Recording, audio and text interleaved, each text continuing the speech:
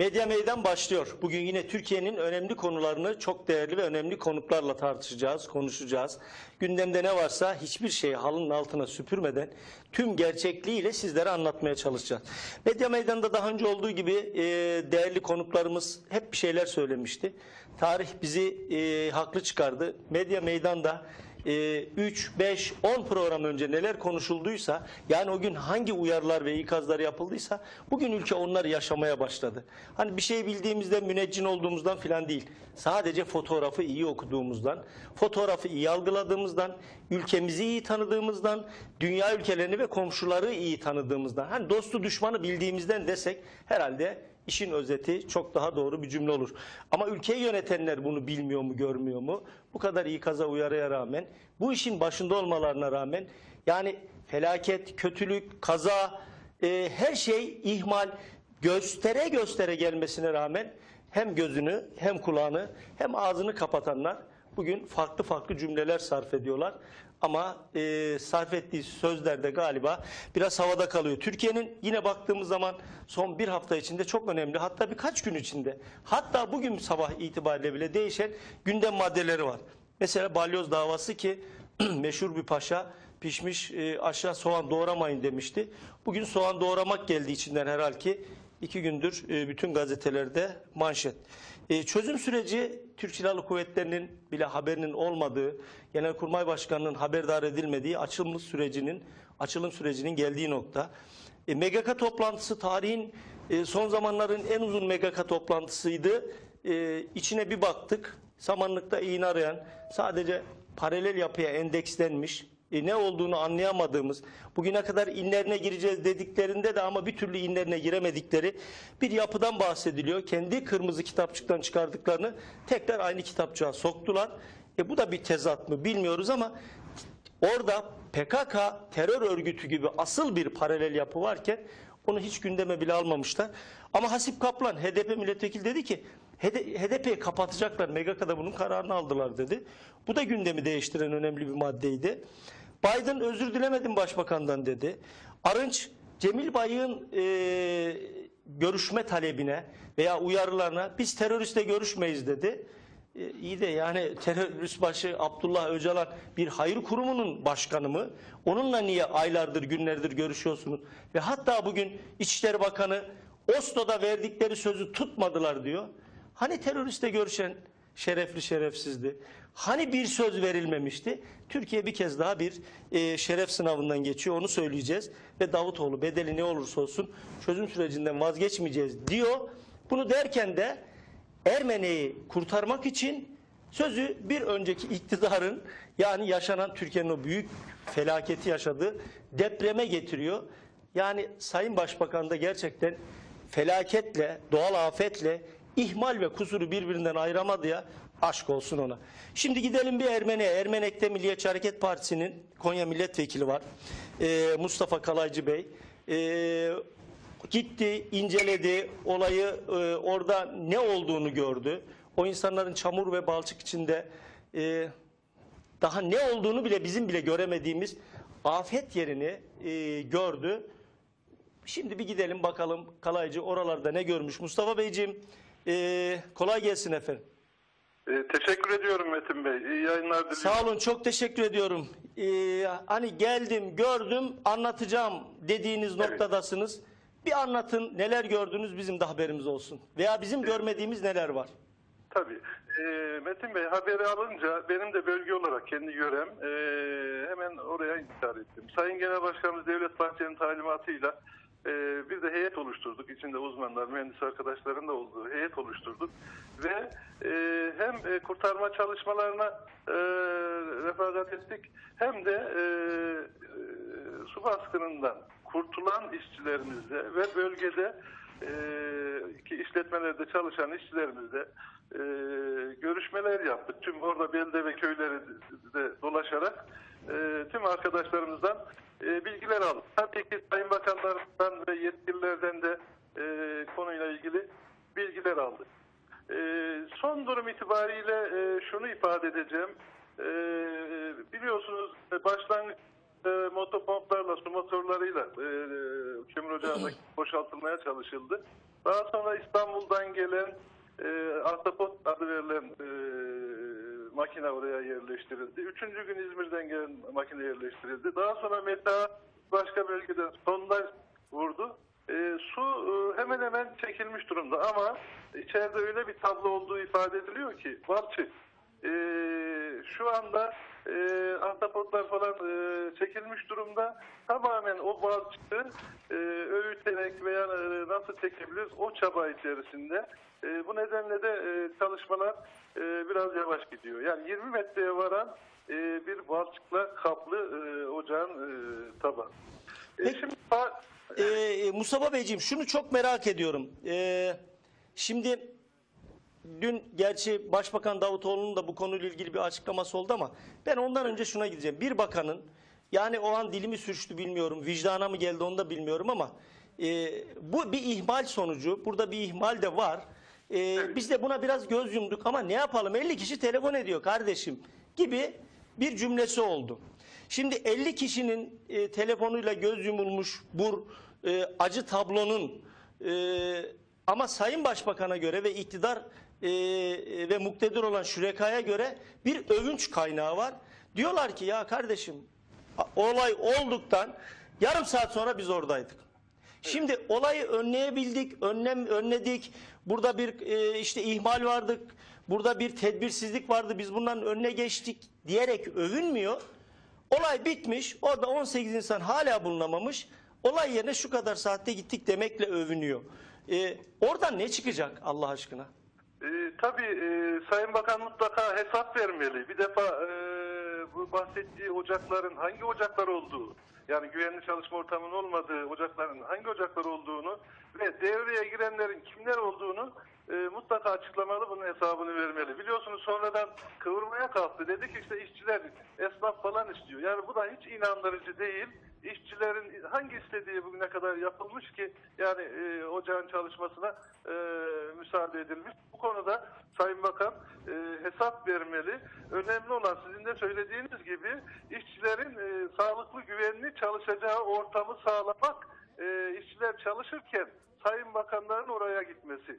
E, kaza olduktan sonra, su baskını olduktan sonra e, oraya gitmelerinin e, e, tabii ki e, bir anlamı yok. Bir e, bu tür ocaklarla ilgili tekrar faciaların yaşanması noktasında bir faydası da yok. Burada da aslında facia geliyorum demiş. Evet. Yani e, şimdi su baskını neden oldu? Başlangıçta yok baraj dendi, yok yeraltı suları dendi. Biz daha ilk gün e, oradan kurtulan bir işçimizin bize verdiği bilgi şu. Diyor ki e, vekilim dedi e, bir patlama sesiyle bir rüzgar geldi tam yemek esnasında. Önümüzdeki yemek kapları havaya uçuştu. Vagonlar yuvarlanmaya başladı. İşte e, o bade dedikleri kömür çıkarmalarına yakın olan işçiler kaçın diye bağırdı dedi. dedi. Biz kaçmaya başladık. Ben 20 yıllık madenciyim diyor.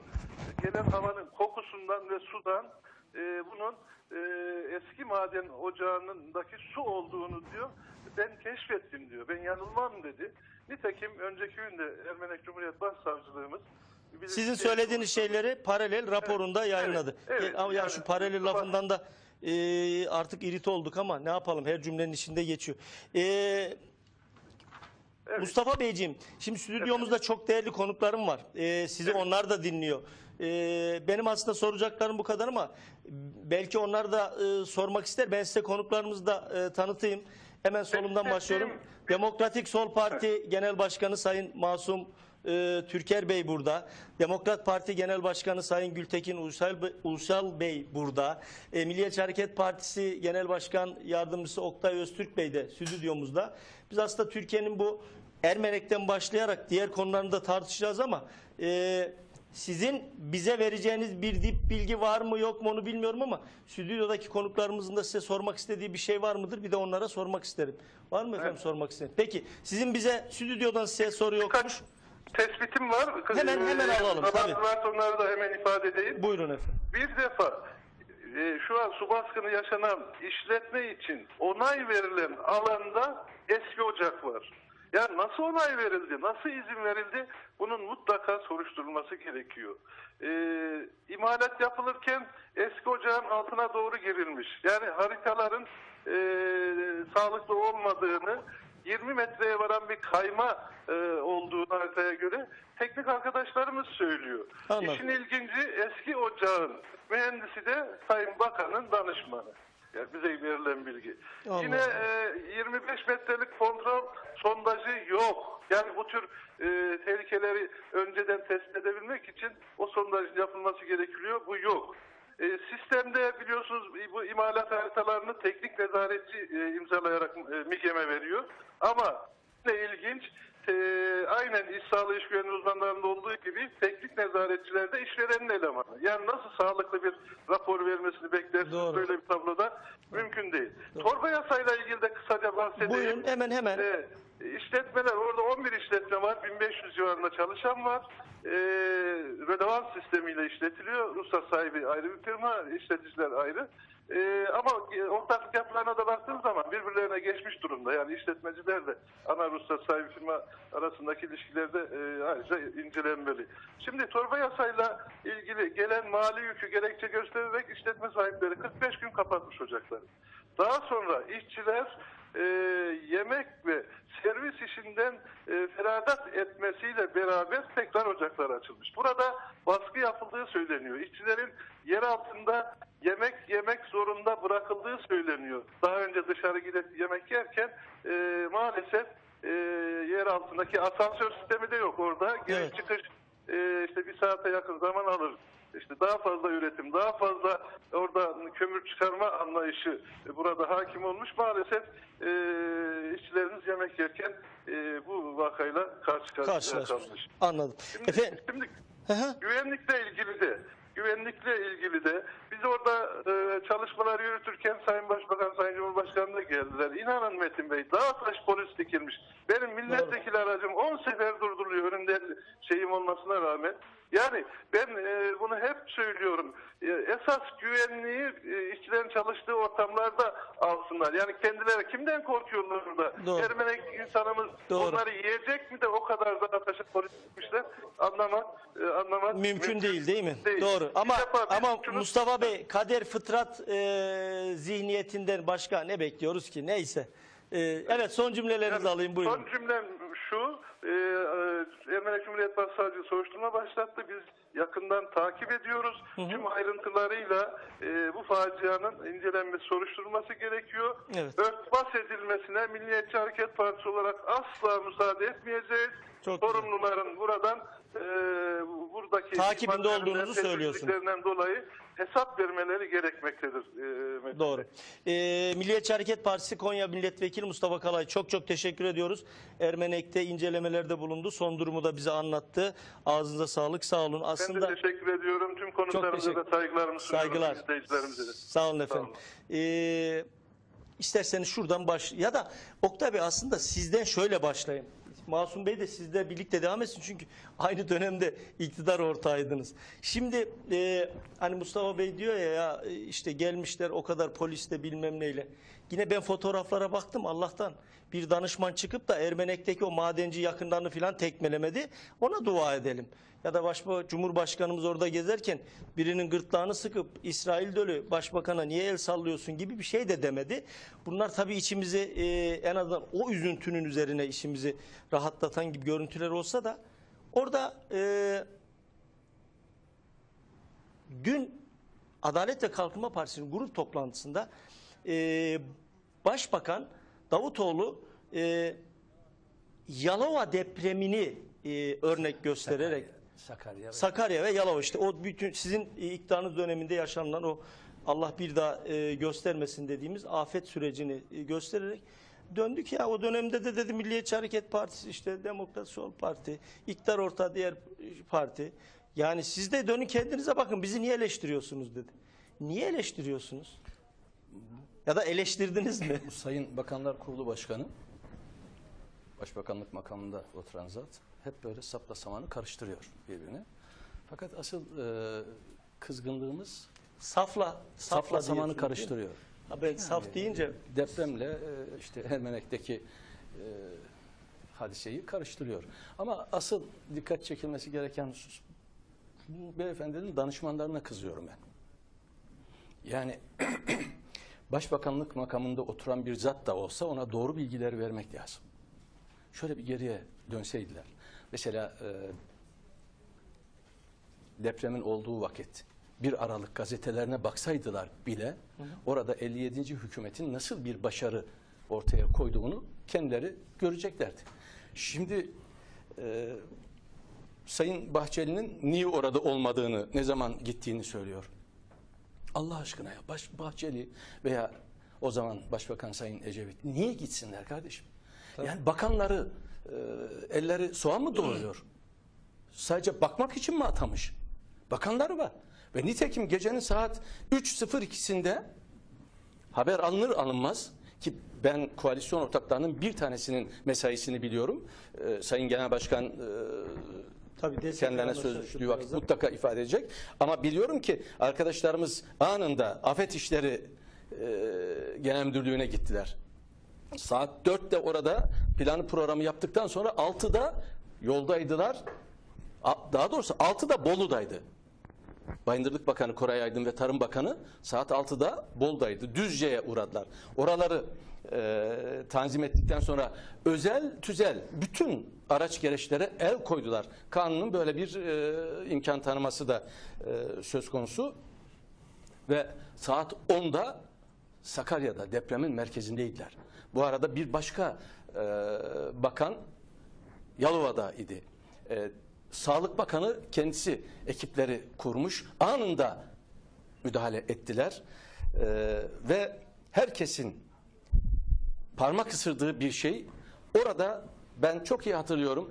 Bayındırlık Bakanı Kasım ayına kadar hiç kimse dışarıda kalmayacak diye büyük bir laf etti.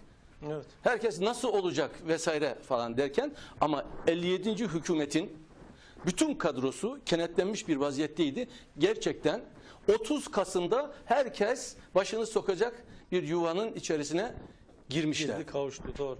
Daha sonra da kalıcı konutlar Yapıldı. e, yapıldı. Bunu Bakanlar Kurulu Başkanı'na anlatmıyorlar mı Allah aşkına? Yani sonra e, siz ne yaptınız ya? Van'da bir deprem oldu. Eliniz ayağınız birbirine dolaştı. Hatta ondan önce Elazığ'da bir deprem oldu. Rezil rüsvay oldunuz. Van'daki depremde ki e, Sakarya Marmara depreminin binde biri ağırlıkta bir depremdi. Ağzınıza burnunuza bulaştırdınız. Katkısı da yüzde yüzdü. Türkiye'nin her yerinden insanlar Sakarya'daki, Yalova'daki. Bolu'daki, Tabii. Düzce'deki depremde yaralar sarılmaya başlanıldığı vakit ilk anda altyapıya müdahale ettiler. Altyapıyla beraber üst yapıyı da e, ortaya koydular. Van'da altyapıyı da e, dikkate almadan bir takım e, uyduruk konteynerler oraya ku- kurdular. Götürdükleri yardımlaşmayı, yardım malzemelerini bile dağıtmakta acize düştüler. Orada insanlar yardım malzemelerini kapanın elinde kaldı birbirleriyle kavga ettiler. Ve kurduğunuz bu 18 tane konteynerde göz göre göre pardon konteynerlerde göz göre göre 18 tane vatandaşımız yandı. Yandı. Doğru. Bir geriye bak bakalım sen yani e, neyi bahsediyorsun? Sonra efendim e, Başbakan veya işte e, Başbakan Yardımcısı Sayın Bahçeli niye gitmemiş? Siz gittiniz de ne oldu ya? Tam Soma'da burada- gittiniz halkı tekmelediniz, tokatladınız. Aynen yani öyle. Sayın Recep Tayyip Erdoğan orada e, önüne gelene yumruk çaktı. Önüne gelene doğru. tekmeledi. Tam burada E, Masum Bey'e şunu sorayım efendim. De- devam edelim. yani müşavirleriniz bile sizden geriye kalmadılar. Anladım. Masum Bey, e, ya o dönemleri biliyorum ben, bakanlık döneminizi. Yani Sayın Genel Başkanlarınız da öyleydi. Sayın Bahçeli de, Sayın Ecevit de gerçekten hakkını e, hiçbir şekilde yememek lazım. Yiğidi öldürsen de hakkını ver demişler. E, bir yere gittiği zaman iki korumadan fazla. Sizi de biliyorum. Öyle yalnız da korumam. Hele ki böyle doğal afetler, kazalar, Allah korusun kötü olaylara öyle bir gövde gösterisiyle gitmek gibi bir huyunuz yoktu. Ve o dönemde de sorumlusu kimse onu da yani bulur tespit eder insanların önüne çıkarırdınız.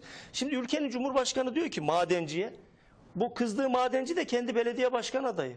İki dönem biliyorsunuz madenin sahibi. Yani Soma'da olduğu gibi hep AKP'li çıkıyor bu madencilerde neyse. Madeni bulmuşlar 12 yıldır bir yerden çalışıyorlar belli. Diyor ki madenci sen niye bu insanları diyor yemeklerini ocakta yediriyorsun diyor. Dışarıda yedirseydin diyor. İyi de yemek saatinde değil de başka bir saatte olamaz mıydı bu felaket? Değil mi? Hani önlem bu mudur? Siz ne diyeceksiniz? Hem de hükümetinize de dün başbakanın söylediği sözlere Şimdi, cevap olsun. tabii e, Sayın Davutoğlu haklı. Haklı mı? Haklı. Niye haklı?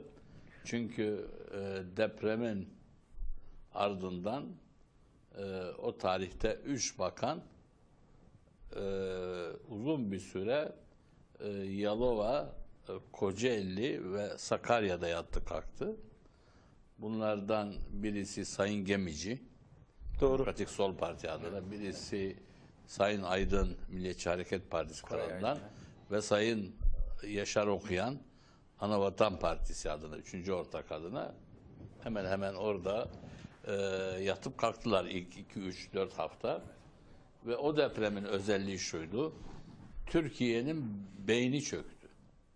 Yani yardım edecek kimse yok çünkü yardım edecek sanayi şirketleri çöktü. Ekonomi durdu. Neden durdu? Çünkü tahsilat tediyenin döndüğü yerler birdenbire ortadan kalktı. Orada o depremde yollar çöktü. Ulaşım durdu. Ee, Yalova'da denize kaydı. Ee, ve yardım etmesi gereken, beklenen böyle tabii afetlerde askeri güç de aynı depreme Maruz kaldı. maruz kaldı. Ama tabii yine haklı Sayın e, Davutoğlu. Davutoğlu. Çünkü Sayın Bülent Ecevit oraya yalnız dört korumasıyla gitti. Değil mi? Fazla koruma yoktu. Yani yakın koruması olan e, koruma müdürü ve e, arabayı kullanan e, yine korumada görevi gören şoför ve iki kişiyle gitti. Kalabalık olmadığı için Sayın Bülent Ecevit'in e, böyle çok abartılı haber yapılacak ya da etrafını bir duvardan örecek insanlar yoktu. Şimdi e, geçen gün gazetede yayınladılar. Cumhurbaşkanı gittiği zaman orada e, koruma ordusunun içinde kendisi, eşi, birkaç bakan, bilgi veren ve birkaç e, vatandaşla gazeteciler dışında hiç kimse yoktu. O kalabalığın hepsi korumaydı. Şimdi bu e, neden böyle yapıyor Davutoğlu? Bu meşhur fıkrayı hatırlatıyor. Bir vezir görevden ayrılacağı zaman kendisinden sonra gelen vezire üç tane zarf veriyor. Birinci zarf açıyorsun diyor ki senden öncekini ter- tenkit et.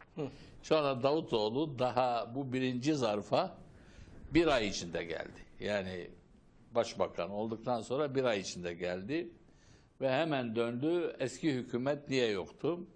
Özellikle Sayın Devlet Bahçeli şu anda parlamentoda olan o dönemin koalisyon liderlerinden birisi olarak ona yönelik ama hepimizi suçlayan bir yaklaşım içinde e, Sayın Davutoğlu'na söylemeli. O dönem şu ya da bu hesabını verdi. Seçim sonuçları bitti. Ama senin döneminde olan bu olayla ilgili olarak hiçbir ciddi önlemin olmadı. Artı senin buna izin vermen doğru değil. Elinde harita yok. Bu konu kapatılmış. Sonra çıkartılıp geçmişte diyor ki buna 50. hükümet döneminde izin verilmiş. O gün verilmiş. 12 yıldır sen yönetiyorsun Türkiye'yi. Evet. Eğer eksiği varsa bu 12 yıl içinde sen bunu kapat. Şimdi buradaki olay şu. Ben yanlışım sözünü sevmiyorlar. Sen yanlışsın denmesinden de hoşlanmıyorlar. Eleştirilmekten de hoşlanmıyorlar. Ve 18 vatandaşımız mahsur kalıp o barcıklar altında bakın ulaşılamaz noktada o, e, karşılaşırken kavga edeceklerine bu işi yatıştırmaları gerekir. Şimdi biz alıştık ama AKP önce din ve başörtü üzerinde siyaset yaptı. Ardından açılım, çözüm üzerinden siyaset yaptı. Şimdi normal iş kazalarında vefat edenler üzerinden siyaset yapıyor. Bu kabul edilir bir şey değil. Niye sen gittin gitmedin? Gidip gitmemekle bunun bir getirisi yok. Aslında tam tersine insanlar oraya böyle çok fazla kişilerin dışarıdan gelmesinden rahatsız oluyorlar. Mesele sen oraya bir yardım götürebiliyor musun? Bir yardım söz konusu mu? Kaldı ki sen gittin de Tabii, ne yaptın? tabii. Yani ne yaptın? Şimdi burada burada olay şu. e, Türkiye'de özellikle madenlerde çok olay daha ortaya çıkacak. Çok kaza yaşayacağız. Bu kazaların bir süre sonra arkasından Türkiye'deki mevcut olan barajlarda gündeme gelecek. Barajlarda çok kaza yaşayacağız. Ardından Türkiye'de özelleştirilmiş yap işte devlet amacıyla verilmiş olan birçok tesiste kaza olacak. Neden olacak? Çünkü bu işlemler yapılırken Amacımız kötü haber vermek değil ama medya Hayır, meydanından ama- bir ama- kez daha ama- uyarıyorsunuz ama aslında. gerçeği söylüyorum. Doğru. Çünkü bu Şimdi- madenlerde konuşmuştuk Tabii, daha tabii. önceki Daha programlarda. önceki programda aynı Tabii. şeyi söylemiştim ben. Yine madenlerde olay Evet. olacak. O gün konuştuk barajda olacak ardından barajda olay oldu. Doğru. 6 kişi oradaki barajların Kapakları açıldı insanların. açılmasından dolayı vefat etti. Şimdi bir kere bunun temel nedeni şu. Şu anda Türkiye'deki hukuk artık demokratik, insan hak ve özgürlüklerine dayalı hukuk değil. Bu hukuk AKP'nin beynindeki dünyayı yaratmak isteyen kanunlarla oluşturulmuş olan bir hukuk. Şimdi bu hukuk insanların bir süre sonra nasıl olsa hallederim noktasında gelmesine yol açıyor. Ve nitekim o 17 Aralık, 25 Aralık'taki operasyonlarda bakanların evlerinden çıkan, Başbakanın oğlunun evindeki bir tüketemediği paraların nedeni şudur. Sorduğunuz zaman onlar ahlaki bir iş yaptık diyorlar. Ne işte ahlaki bir iş yaptık? İş takibi yaptık. Ne takip ettiniz? İşte yasaların engel olduklarını yasal olarak önünü açtık. Şimdi bu nedenle de yasa olarak da kılıfı uydurdukları için hiçbirisi hüküm giymeyecek. Yani sonuçta kurtulacaklar. Eksik olanı da için zaten yasalar bırakın e, hakim savcılar yüksek kurulu bile değiştirildi. Şimdi burada Bu maden işlerini de kılıfına uyduruyorlar Tabii, tabii. diyorsunuz Maden yani. işçileri şimdi hatırlatalım. Kayseri'nin eski il başkanı Kayseri eski il başkanı yüze kadar madenin ruhsatını almıştı. Evet. Bu ortaya çıkınca onun normal bir şekilde süresi bitmeden kendi isteğiyle ayrılmasını sağladılar. Yoksa onu görevden almak zorunda kalacaklardı. Çünkü afişe oldular. Şimdi bu konuda madenler konusunda şu anda e, AK Parti döneminde madenler yabancılara peşkeş çekiliyor. Aslında şu anda maden imtiyazları yabancılara veriliyor. Bakın şu anda Tunceli ve Erzincan yabancı toprak satışında ve özellikle madenlerin bol olduğu yerlerde oran olarak en fazla satılan yer.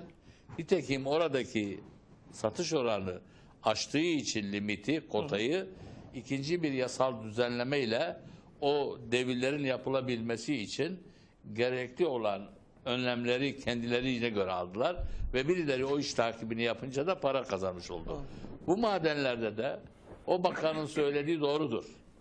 50 kişi dediğinin en az üçte ikisi AKP'li parlamenterdir ya da AKP'li il başkanı AKP'nin faaliyetleri içinde yer alan kişilerdir. Ya da başka bakanlardır. Yani Evet. bakan demedim e, ayıp olur diye e, biraz e, nezaket gösteriyoruz. Milletvekilinin içinde zaten bakanların bir iki tanesi hariç. Tam burada Gültekin Bey'e şunu soralım mı? Ee, onun da fikrini alalım bu konuda. Ee, Masum Bey'in bıraktığı yerde çok önemli bir nokta. Ee, bu maden işlerinin izni sadece başbakana bağlı. Yani Recep Tayyip Erdoğan'a bağlıydı. Şimdi Cumhurbaşkanı oldu. Herhalde o yetkileri e, Aksaray'a götürmemiştir diye düşünüyorum. Ee, götür- Götürüyor. götürüyor mu? Onu da mı götürüyor? Onunla ilgili bir düzenleme yapıldı. Kadro verildik, incelensin. Şimdi Aksaray değil yani. Ona bir kere Aksaray Beyaz demeyin. Ev'de. Hayır hayır. Orası yani e, mevcut ya- yasal düzene meydan okumak amacıyla Kaçak kaçak olarak yapılmış. Tamam. Yani düzene karşı. Ama ben Sayın Genel Başkan'ın başlamadan söyleyeyim ve onun başına gelecek kişi de belli. Eski bir bakan. Yani süresi bitecek. Üç dönemden olduğu için seçilemeyecek. Ee, Cumhurbaşkanlığında e, yatırımları izleme ve koordinasyon başkanlığı kuruldu. Hemen hemen Türkiye'deki yapılacak bütün yatırımları Binali Yıldırım para dağıtımı yapılacak olan her şeyin merkezi Cumhurbaşkanlığı Köşkü olacak. Başkan, Ben- Böyle bir fotoğraf. başkanlık köşkü. Evet. ne, ne diyorsunuz Gültekin Bey? Başkanlık. Evet çoğu yani pek çok cephesinden değerlendirmek lazım ama özelde sizin söylediğiniz çok uzun süredir yakın ilgim dolayısıyla da maden sektörüyle ilgili sadece kömür madenleri değil ama onun dışında doğal taş madenciliğinden, mermercilikten başlayarak yani yakın bölgelerimiz dolayısıyla da e, meselenin de derinlemesine vukufiyetimiz var. E, tabii Türkiye'de her şey çok şahsileştirildiği için şahıslara özel takvimlemeler, şahıslara özel uygulamalar ve Sayın Başbakan'ın şahsında topyekun bir devletin bütün kurum ve kurallarıyla beraber şahsileştirilmiş bir ayar yapılıyor. Yani fabrik ayarlarından, hukuk devleti düzeninden, eksileriyle fazlalarıyla bugün geldiğimiz noktada keyfi bir takım tavır ve davranışlarla ortaya çıkan tablo bu. Münferit olarak Soma'da yaşadık. Sonrasında çok söz söylendi. Bizler söyledik, hükümet söyledi. Bugün meseleyi çarpıtmak için bundan yıllar evvel uzunca bir süre geçmiş. İnsanların hafızasında bile günün olaylarını hatırlamakta detaylı bir şekilde Doğru. e, 12 yıl aşan bir iktidar sürecinden önceki bir iktidar dönemini hedef alarak meseleyi çarpıtmakta işin cabası ama e, hani hoş bir laf var tevil götürmez zırvalıkları açıklamaya çalışıyorlar bugün. Bunu da geriye dönük yaparak yanlışı yanlışa ya- yarıştırarak velev ki doğru bile olsa bu usul ve kabul edilir bir şey değil. Ama Türkiye'de bütün meseleleri tartışırken esas fonu tartışmak lazım. Hukuk devleti, siyaset, siyasetin finansmanı pek çok unsuru sayabiliriz. Bunun siyasal kültürde dahil olmak üzere son 12 yıl ama özellikle 2007'den itibaren rengi koyulaşmış, kamuoyu da dahil olmak üzere, ulusal basın da dahil olmak üzere e, bir ekosistem var. Bu ekosistemin yanlış işlemesi dolayısıyla e, münferit olarak bir ocakta, bir maden sahasında, bir işletmede değil, Türkiye'nin pek çok meselesinde bu tür felaketlerle karşı karşıya kalıyoruz ki devlet kapasitenizin meşhur Fukuyama'nın Devlet İnşası diye bir e, eseri vardır. Orada en önemli unsur olarak öne çıkardığı bir devletin aldığı kararları ve kurumsal kapasitesiyle beraber bunu ne kadar uygulatabiliyor.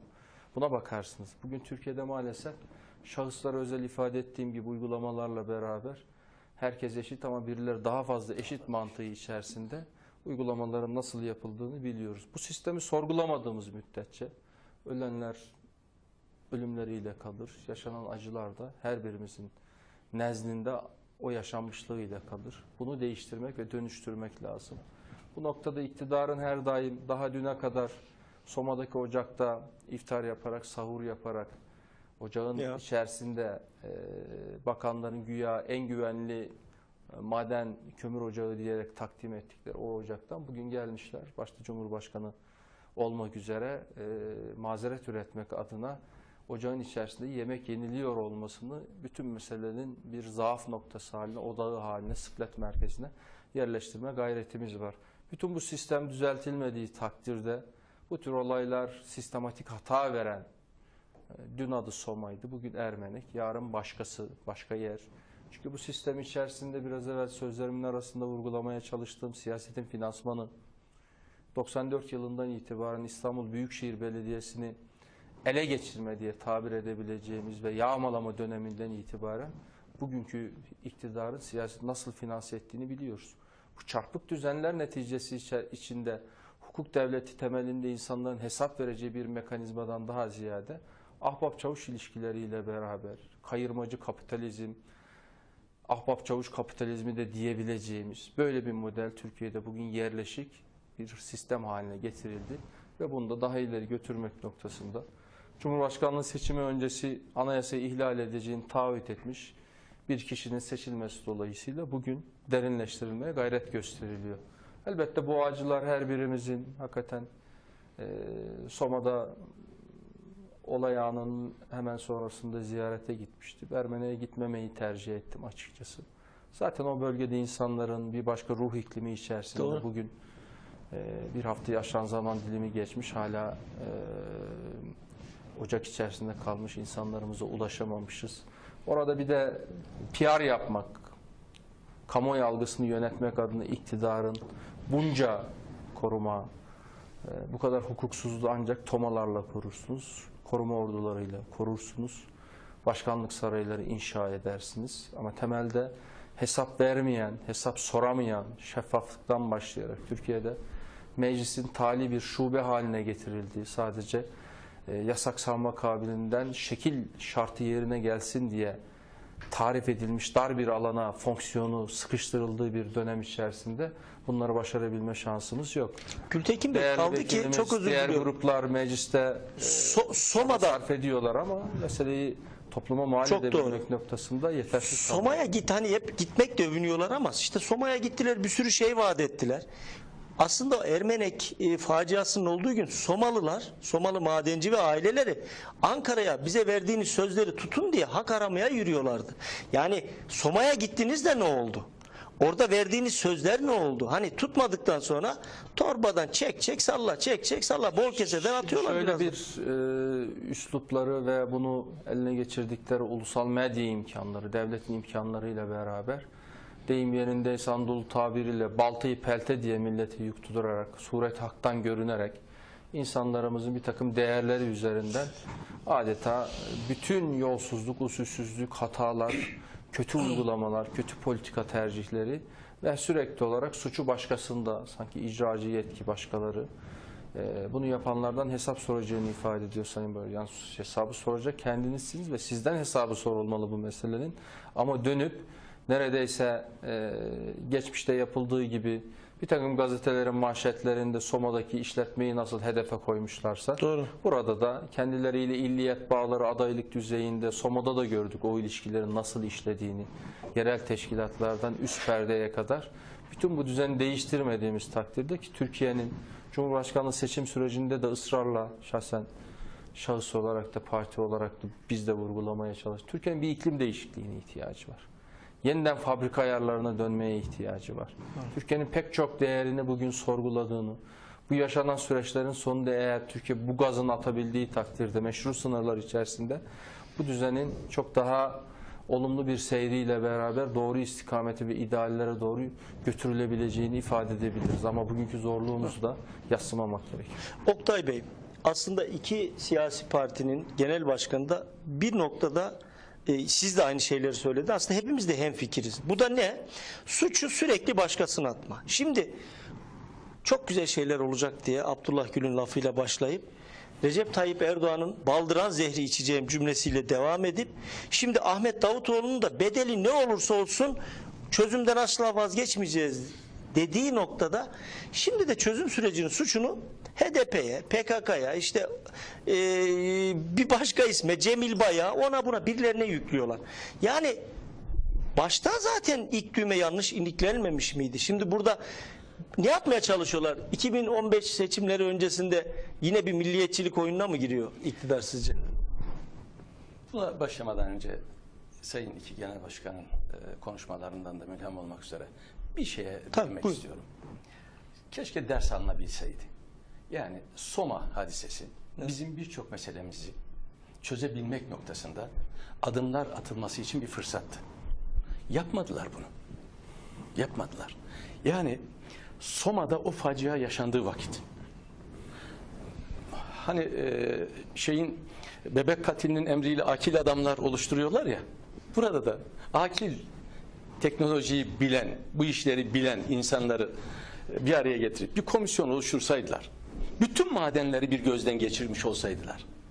Muhtemel yaşanabilecek hadiseleri de önlemiş olurlardı. Geçmişte ruhsat verilmiş, iyi çalıştıramamış, belalara düçar olabilecek bir takım gelişmeler olmuş vesaire falan. Bu madenlerin hepsi elden geçirilirdi. Muhtemel hatalar önlenebilirdi. Ama bunu yapmaya kudretleri yetmez, şunun için yetmez. Sayın Genel Başkan e, Masum Bey ifade etti. Türkiye'yi bekleyen bir takım tehlikelere işaret ettiniz. Gerçekten çok önemli. Yani barajlar, madenler, HES'ler, rüzgar enerjisi bütün bunları kendi adamlarına dağıttılar. Bunların bütün ruhsatlarını kendi adamlarına verdiler. Dolayısıyla kendilerini kontrol etmek gibi bir şeyleri de yok, güçleri de Yok netice itibariyle karşılarındaki insanlar biz bedel ödedik diyorlar.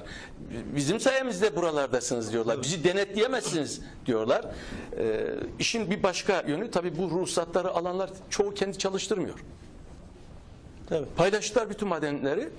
Yabancılara satmak noktasında da ön ayak oluyorlar. Avantadan kendi paralarını Suya sabuna dokunmadan Evet. para E, nitekim bakın Babacan dedi ya İstanbul'da e, şey değiştirmek suretiyle binalara e, proje değiştirmek suretiyle haybeden e, yeni daireler eklediler. Bir rant kapısı oluştu vesaire. Bütün bunlar e, bunların vazgeçemeyecekleri şeyler.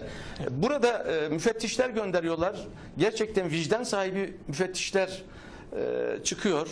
Hatalara işaret ediyorlar. Sayıştay raporlarına giriyor bunlar.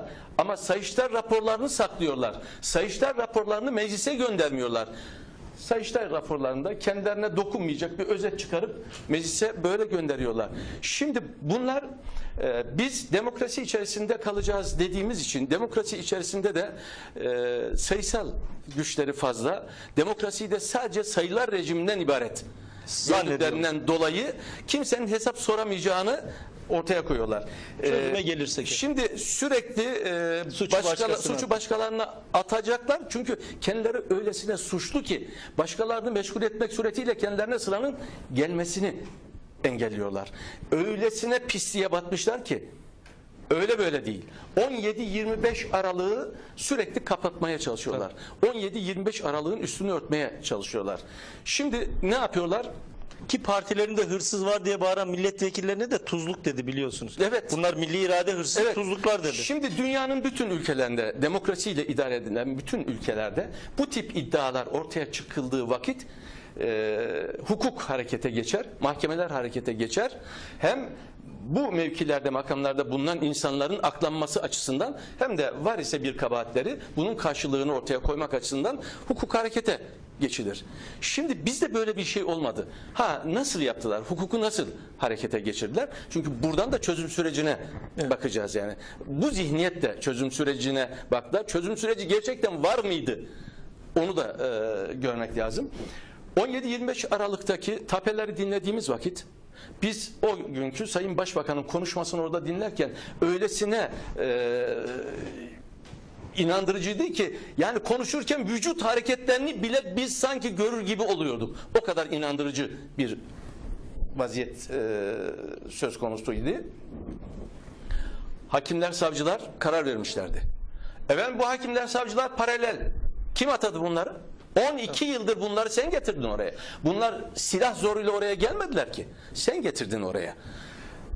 Yetmez ama evet diyerek. Evet. Senin karşında rakip olabilecek, sana engel olabilecek bütün kurum ve kuruluşları, şahısları bunlara yargılattın. Sıra sana geldiği vakit birden bunlar devlet içerisinde paralel yapı oldu. Aslına bakarsanız şimdi e, arkadaşlarım katılır mı bilmiyorum. E, ifade ettikleri vakit şunu söylüyorlar. Devlet elden gidiyordu. Devleti felç ettiler. Tamam. Bunlar bu işleri yaptıysalar bunlar cezasını muhakkak görmeli. Ama bunlara yol veren Cezasını ve görmemeli. devlet erkini kullanan bana göre onlardan daha büyük suçludur. Şimdi doğru. buna hiç e, yaklaşmıyor. Ne yaptılar? Adaleti güya tecelli, tecelli ettirdiler. Hani dedik ya hukukun harekete geçmesi lazım. Geçti. Ama önce Hakimler Savcılar Yüksek Kurulu'ndan başladılar. Hakimler Savcılar Yüksek Kurulu'nda 3 daire var. Dairelerin yapısını değiştirdiler. HSK'ya seçilmiş kendilerinin altı adamları vardı. Birinci ve ikinci daireye bunları atadılar. Birinci daire atamalara bakıyordu. Ondan sonra kendilerinin yargılandıkları mahkemelerdeki hakim ve savcıları değiştirdiler. Şimdi buradan adalet tecelli etse bile kamuoyu buna inanabilir mi? Hayır. Bütün bu e, Ali Cengiz oyunlarını çözüm süreci Görmek içerisinde de yaptılar. Çözüm sürecine gelirken bunlar PKK'nın karşısına hep seçime giderken oturdular. Seçim döneminde PKK'nın herhangi bir hadiseye sebebiyet vermemesi için bir e, çatışmasızlık ortamı olsun diye onların önüne gittiler. Her defasında e, ve devlet ricaline de kaymakamlara, valilere, emniyet müdürlerine de şu talimatı verdiler. Aman bunlara dokunmayın, şu seçimi sağlıklı bir şekilde atlatalım. Karşılıklı olarak PKK'lılar da bunların bu zihniyette hareket ettiğini biliyorlardı. Gerçekte bir çözüm arayışı içerisinde olmadıklarını biliyorlardı. Bunlar, bunlar PKK'yı kandırmak suretiyle e, seçimde istedikleri neticeyi almak için mücadele ederken PKK da bunlara e, eyvallah diyerek kendi kaybettiği gücünü tamamlamanın evet yeniden toparlamanın mücadelesi içerisine girdiler. E, PKK ile mücadelenin bütün yollarını, e, güzergahını, e, şeklini bebek katili tayin etti. İçeriden bütün e, talimatları o veriyordu. Yol haritası diye e, bunların eline tutuşturduğu e, unsurlar neyse onları yapmaya getirdiler mesela. Akil adamlar Bir cümleyle evet efendim. şeysi. Bakın Pervin Buldan ne diyor? Akil insanlar ve meclisteki çözüm komisyonu Öcalan'ın talebiyle kuruldu. Heyet içinde önerdiği isimlerin hepsi seçildi.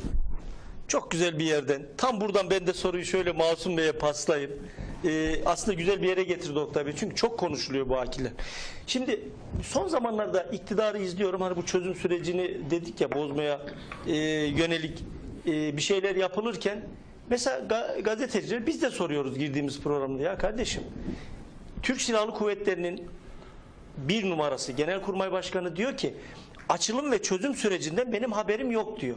AKP'liler hemen şu savunmaya geçiyorlar. E kardeşim olmak zorunda mı? Yani Türk Silahlı Kuvvetleri'nin Genelkurmay Başkanı Başbakan'a bağlı bir memur. Şimdi size şunu sormak istiyorum. Kadir İnanır'ın haberi olsun. Orhan Gencebay'ın haberi olsun. Hülya Koçyiğit'in haberi olsun. Ama ülkenin Genelkurmay Başkanı'nın haberi olmasın. Ne diyorsunuz? Şimdi e, Genelkurmay Başkanı'nın bu çözüm, açılım türlü karar veremeden en son çözüm dediler oluşumda haberin olmaması normal. Çünkü neden normal? Ee, Oslo görüşmelerini yaparken Oslo'da karşısında olan kişi aynı zamanda bir aracıyla gerçekleştirilen kişiydi. Kim oturduysa o görüşmelere, Türkiye adına da kimin oturduğu soru ortaya çıktı. Şimdiki MİT Müsteşarı'nın oturduğu. Bunu da ben görevlendirdim diye Tabii. Cumhurbaşkanı açıkladı yani o zamanki başbakan. Şimdi burada e, neden e, bu haberi yok? Orada yapılan görüşmeleri bırakın e, Genelkurmay Başkanı'nın AKP hükümetinin birçok bakanın haberi yoktu. Çok milletvekilinin haberi yoktu. Böylesi bir o, olay gerçekleşti ve bu olay gerçekleşirken bir de sözler verildi. Sözler alındı. Sözler alınmış, ne alındığını bilmiyoruz. Bunu o dönemin müsteşarı olan, başbakanlık müsteşarı olan, bugünün İçişleri Bakanı verdikleri sözde durmadılar diyor. Ama aynı lafı HDP adına milletvekilleri de Oslo'da ve İmralı ile ilgili verdiğiniz sözünüzde durmadınız deniyor. Doğru. Şimdi Açıklayın tabii, diyor. tabii açıklayın deniyor. Ee, burada e, olay şu. Sonuçta ortaya çıkınca başbakan çıktı. Benim talimatımla yapılmıştı dendi. Şimdi madem senin talimatınla yapılmıştı, o dönem referandum yapılıyordu ve ben bütün Türkiye'de gittiğim her yerde bizim internet sitesinde var. Oslo adını vermedim ama PKK ile bir uluslararası başka bir ülkenin e, istihbarat servisi aracılığıyla görüşme yapılıyor dedik. Sonra bunu Daha Oslo lafı yoktu ortada o Tabii zaman. tabii Oslo Tabii, tabii. yoktu. Sonra Sayın Bahçeli o süreç içinde kendisi de bir iki kere dile getirdi ama ben her gittiğim ilde o süreç içinde Ağustos Eylül aylarında söyledik yani hatta Temmuz'da başladık. Sonra bunlar açıklama yapma ihtiyacı hissettiler. Böyle İnkar bir şey ettiler. yok. İnkar ettiler. Şimdi bu inkar ettikleri şeyi tabii ki yanlarındaki Sadece inkar değil efendim bunu söyleyen şerefsizdir dediler. Tabii. Tabii söylediler ama o onu oradaki onların o şerefsiz lafı aslında Sahibini taraf- arıyor şimdi. Yok karşı taraftakilere küfürdür. Yani orada bu çok elastiki şey yapıyorlar. Ee, Kelime oyunları. kelime oyunu yani bunu gündeme getirene küfür ediyor da Tabii. ama dava açarsanız da yo ben böyle demedim diyebilecek şekilde kelimeleri kullanıyor bu konuda ustadlar. Peki niye böyle oldu? Onu önce söyleyeyim. Ee, Biden'la Tayyip Erdoğan'ın arasındaki ilişki Türkiye'de zaten karşılaşacağımız hem sorunların nedenidir hem de Tayyip Erdoğan'ın gidişinin nedeni olacak. Yani ilişki eskiye mi dayanıyor? Tabii bu ilişki ne zamana dayanıyor? Bu ilişki o zamanın başbakanı Tayyip Erdoğan'ın ameliyatı zamana dayanıyor. Ameliyat olduğu gün eve gitti biliyorsunuz. Hastanede kalmadı. Evet. Ve o arada Biden Türkiye'ye geldi. Biden evde başa baş iki saati aşan konuşma yaptı. Geçmiş olsuna mı geldi Biden? Yok, siyaset konuşmaya geldi. O zaman gündemde Esad vardı ve Esad'ın bu konuda gönderilmesi için talep vardı ama Tayyip Erdoğan ya da AKP Esad'da sahip çıkıyorlardı. Tabii. Esad- Kankalarıydı o zaman. Tabii.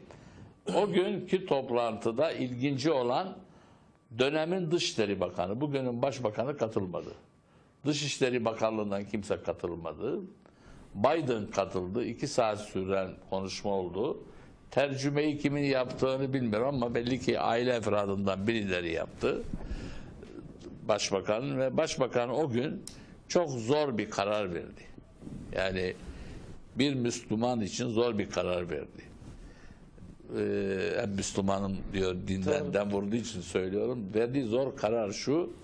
Kendi dinimizden olan bir Müslümana savaş açma noktasına gelecek olan bir karar verdi. Yani Suriye ile karşı karşıya gelme kararını verdi. O gün Biden çıktı. Gitti bir toplantıya. O toplantıda 10-12 kişi vardı. Bazıları gazeteci, hanım gazeteciydi. 3-4 tanesi dedi ki biz anlaştık bunlarla. Bir yıl daha AKP ile götüreceğiz. Deliye süpürmeyeceğiz dedi yani. Hayır süpürmez demedi. Götüreceğiz dedi. Ben şimdi bu söylediğimi merak edenler açsınlar. Ben de merak ediyorum Tabii, da bu açsınlar. bilgiler size nereden ulaşıyor? Ee, şimdi nereden ulaştı değil. Birazdan söyleyeceğim. Öyle? Zaten biraz da beni bugün durgun görüyorsunuz. Nedenini de söyleyeceğim. Ee, alışık değilsiniz. Biraz daha heyecanlı konuşmama alışıksınız. evet evet. Bugün Ee, biraz söyleyeceğim. acaba Sayın Ee, Ecevit'in bu yıl konuda bu konuda ama. bu konuda olay şudur. Diyor ki bir yıl daha beraber gideceğiz. O toplantıda bulunan bayan gazetecilerinden birisi yani bu Tayyip Erdoğan'a bir yıl daha mı tahammül edeceğiz diyor. Bunu ben öğrendim. Birkaç televizyonda söyledim. Ondan sonra bunlar o bir kişinin peşine düştüler. Bu bir kişi öğrenmek için bugün paralel devlet diye suçladıkları ve e, Samanyolu'nun, Zaman Gazetesi'nin, Cihan Haber Ajansı'nın bütün muhabirlerini arkama taktılar. Hemen hemen beni tanıyan hepsi açtılar telefonlar. Bu bir kişi kimdir diye sordular. Ben de söyleyemem dedim. Ve bunlar o kadar kindar ki sırasıyla önce Nuray Mert'i yerinden ettiler. Evet. Sonra bu kişinin olsa olsa o toplantıda bulunan Nazlı Ilıcak'tır diye Nazlı Ilıcak'ı yerinden ettiler. Ee, yani ettiler. Söyleseydiniz de kurtarsaydınız. Şimdi, şey, yani ettiler yerlerinden. Ee, onlardan bir tanesi de geçen gün e, orada bulunan toplantıdaki erkeklerden birisi Taraf Gazetesi'nde bunlarla ilgili de suçlayıcı yani işiti siz destekliyorsunuz suçlamasını Doğru da yaptı. var. Onların hepsinin o konuşmalar Amerika'nın sesidir. Amerika'nın duyurmak istediklerini belli think tanklerle- Mesajı oradan veriyor Tabii yani. mesajı mesela e, 57. hükümete sivil darbe yapılacak mesajını yine aynı zat verdi. Dedi ki eğer Amerika Irak'a girecekse Ecevit'siz, DSP'siz ve MHP'siz bir iktidar lazım. Yani bunun olgusu ve hemen Tayyip Bey'in bu fikir değişikliği üzerine topladılar. Şimdiki bir başbakan yardımcısının kontrolünde e, PR'cıları. Bu PR'cılar nasıl bu arkadaşlığı birdenbire kötülüğe dönüştüreceğiz? Esat oldu Esed. Doğru. O PR'ın yani bu algı yönetimiyle uğraşanların verdiği öneri üzerine ve Suriye ile bu çatışma başladı. Şimdi bu çatışmada kendini o kadar bağladı ki başbakan ve yanındaki Dışişleri Bakanı meseleyi ne olarak getirdiler gündeme? Bir e, mezhep e, baskısı yani Suriye'de Baas Partisi Alevilerin elindedir ve büyük baskı yapıyor. Tabi bunu getirirken de burada birileri arka çıkmasın diye bu işi mezhep çatışması gibi göstermeye çalıştılar. Ve eee, bir kere bir şey daha söyleyeyim. O arada gazetecileri kaçırdılar. Suriye'de biliyorsunuz bazı Evet. gazeteciler eee, hükümet yanlarının eline geçti. Daha diplomatik ilişkiler kopmamıştı. Bana soruyorsunuz da bunları da söyleyeyim. Ben o zaman ziyaret ettim şeyi. Daha doğrusu beni ziyaret etti. Maslahat Güzel. Suriye'nin. Ardından onu aradım telefonla. Dedim ki ya bu sizin yaptığınız yapılan yanlış. Bu konuda dedim bir iş yapın biz aracı oluruz gazetecileri serbest bırakın. Gazetecileri serbest bırakın deyince olabilir dedi. Bir konuşayım. Konuştu kendi merkeziyle. Arada olabilir dedi. Partimizin genel sekreteri Sayın Hasan Erçelebi'den rica ettim. Suriye Büyükelçiliğine gittim. Maslahat Güzel'le konuşuldu. O tarihte tabakat da sağlandı. Gazeteciler verilecek. Hikmet Sami Türk ve bu arada Esad'ın eşinden randevu alındı. Beraber bizim Genel Başkan Yardımcısı milletvekili Jale Ağırbaş görüşme yapacak. Biz tam ne zaman çıkacağız dedik. Araya İran girdi. İran olmaz dedi. Böyle darda olmayan partinin iktidar partisi dışındaki dışındaki bir kişinin ya da bir partinin bu ara burcu yapması doğru değil. İran bizim Beşir Atalay'a çok yakındır. Öyle mi? Tabii He. Beşir Atalay'ı güçlendirir. Türkiye'de Beşir Atalay'ın e, varlığı İran için çok önemlidir. Ve e, Beşir Atalay beyefendiye haber verildi o zaman e, ne yapalım denildi. Gazeteciler Tahran üzerinden Türkiye'ye getirildi ve bize de maslahat güzel zaten son konuşmamız oldu. Ondan sonra Türkiye'yi terk etti. Özür dilerim dedi. Şimdi efendim ben bugün biraz böyle hala etkisindeyiz. Bugün rahmetli Bülent Ecevit'in 8. ölüm yıl dönümü. Biz sabahleyin e, mezarı başındaydık. Allah rahmet eylesin. Hatta e, mezarı başına gidince saat 10 çeyrek falan oldu. E, işte toparlanıyoruz. Dediler ki işte yarım saat sonra Sayın Kılıçdaroğlu da gelecek. Ben de o zaman aradım. Kendisinin özel kanalına dedim ki eğer gelecekse yarım saat içinde biz onu da bekleyelim. Ve e, Nezaket e, e, nezaketin Tabii, ötesinde ilk defa e, vefatından bugüne Sayın e, Ecevit'in Cumhuriyet Halk Partisi'nin lider düzeyinde ziyaret edilecek. Yani hiç Tabii. mezarı ziyaret edilmemişti. Ölüm yıl dönümüyle ilgili olarak. E, bekledik geldiler ve beraberinde tabii bizim e, partinin geleneğidir. Mezar başında saygı duruşundan sonra muhakkak dua okunur. Duadan sonra da söyleyeceğimizi söyleriz. E, onun da tabii e, bakış açımız farklı. Yani bizim için Ecevit bir lider olmanın ötesinde e, son dönemlerde beraber geçirdiğimiz hepimiz için bir baba Doğru. görevi gördü. Şimdi kendisiyle beraber çalışırsanız bu benim söylediğim bilgileri söylersiniz. Bakın Sayın Bahçeli de Başbakan Yardımcısı olarak çok toplantılarda bulundu birlikte ve olayları dikkat edin onun da yorumlama biçimi, algılama biçimi ve analiz yöntemi farklıdır. Bunları aslında araştırırsanız bakanlar, başbakan, yardımcılar itiraf ediyorlar. Ortaya çıkıyor. Mesela ben şimdi iddia ediyorum şu anda Türkiye'de Hakkari'de Türkiye Cumhuriyeti yoktur. Türkiye Cumhuriyeti yoktur.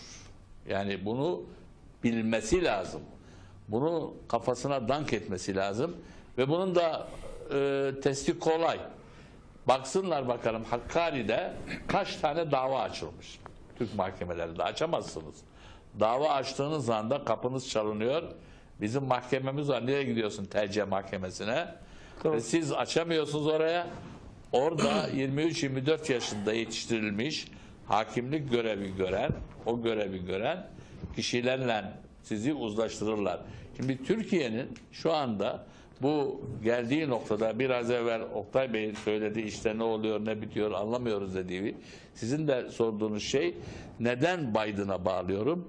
Biden dedi ki bu işite yol veriyorlar dedi. Verdiler. Şimdi herkese soralım. İşit'in adı bu Irak'taki bizim Musul'a gelene kadar biliniyor muydu bilinmiyordu. Yok, tamam. Orada El Nusra diye bir şey bir örgüt vardı.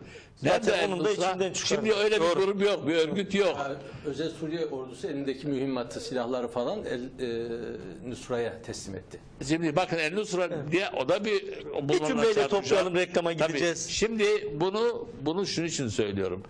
İşit çok önemli bir görev gördü. Gördüğü görev neydi? Bu sarraf denen kişinin ithal ettiği altınların bir kısmı ihraç edildi resmen. Bir kısmı ihraç edilmedi.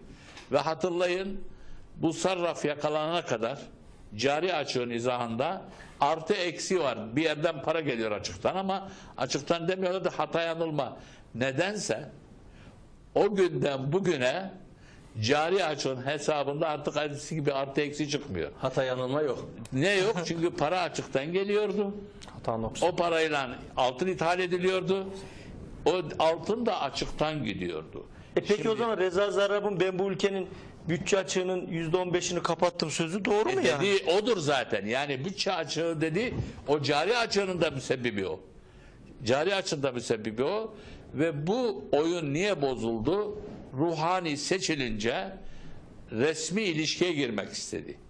Yani o güne kadar İran'ın bu istenmez ülke olması Rusya'nın da hesabına geliyordu. Rusya her an Avrupa'yı sizi gazsız bırakırım, soğukta kalırsınız tehdidi vardı.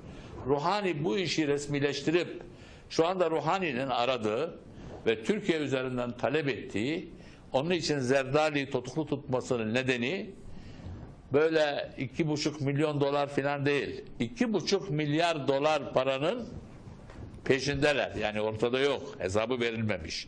Onun için eski başkan, cumhurbaşkanı bakın şu anda bir üniversitede öğretim görevlisi olarak tutuluyor. Bu İran'ın bu yapısından bu arada Biden'ın verdiği sözü Sayın Cumhurbaşkanımız Tayyip Erdoğan ben nasıl hallederim dedi. Ama bakın Türkiye Cumhuriyeti için hele hele ilk yeni seçilmiş bir cumhurbaşkanı için daha başbakan olmadan kendisini kabul eden bir saraya Obama Birleşmiş Milletler çatısı altında bile görüşmek istemedi. Ve görüşmediği için ben yemeğe gelmem dedi. Görüşme yemekle geçiştirilmezse Onu da Sisi'ye bağladı diyorsun. Onu efendim bakın farklı anlatıyorlar. Tabii. Aslında randevu verilmedi Biden'la görüşeceksin denildi. Neden? Çünkü sen bu işi Biden'la yaptın. Biden'ın da söylediği şey şu. Siz Suriye ile uğraştınız. O kadar çok Esad'a bağlı kaldınız ki IŞİD'in geçişine göz yumdunuz dedi. Suçladı. Şimdi özür dilediği lafı o gün burada ben ne dersem Sayın Genel Başkan yerinde oturuyordum. Ne dedim? Özür dilemedi dedim. Evet. Bunu dilemedi. Yani yanlış anlama var diye diplomatik geçiştirdi. Süreçte Ama yine dün de haklı çıkardı. Televizyonda ne dedi? Ben asla özür dilemedim. O fikrimi muhafaza ediyorum. Bugün bütün gazetelerde de var. Açıklık getirdi. Şimdi ama bir şey daha var. Gazeteler bugün bile mezar başında söylediğimi gazeteler yazmadı. Önemli bir söz söyledim. Bir cümle reklama gideceğiz. Ve- Süremiz çok. Hayır söylemeyeceğim onu zaten. O ayrı Ha, program konusudur. Çünkü baktım ajanslar da hesaplarına gelmiyor geçmiyorlar. Bu hükümete karşı Türkiye'de bütün toplumun tıpkı Tunus'ta olduğu gibi birlik olup durulması gerekir. Yoksa son bu askerin de adını kullanarak herkesi fişleyen, herkesi izleyen, herkesin başına böyle çaplak atacak bir despotlukla duran bir yönetim anlayışı Gel. yani insanları yalnız Tayyip Erdoğan ya da Davutoğlu diye değil. Bunlar gider yerlerine aynı karakterde bir yapıya göre inşa edilmiş Türkiye'yi değiştirmek hepimizin görevidir. Çok teşekkür ediyorum. Hemen kısa bir reklam arasına gidiyoruz. İki dakika çok değil. Bizden ayrılmayın. Ee, Medya Meydan kaldığı yerden tüm hızıyla devam edecek. İki dakika sonra buradayız.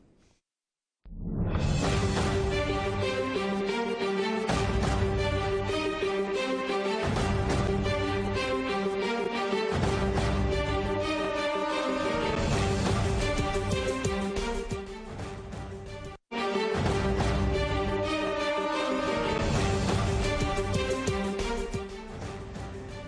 Evet, Medya Meydan kaldığı yerden devam ediyor. Sizlere bir kez daha konuklarımı hemen tanıtmak istiyorum. Demokratik Sol Parti Genel Başkanı Masum Türker Bey, e, Demokrat Parti Genel Başkanı Gültekin Uysal Bey Milliyetçi Hareket Partisi'nin Genel Başkan Yardımcısı Oktay Öztürk, stüdyo konuğumuz.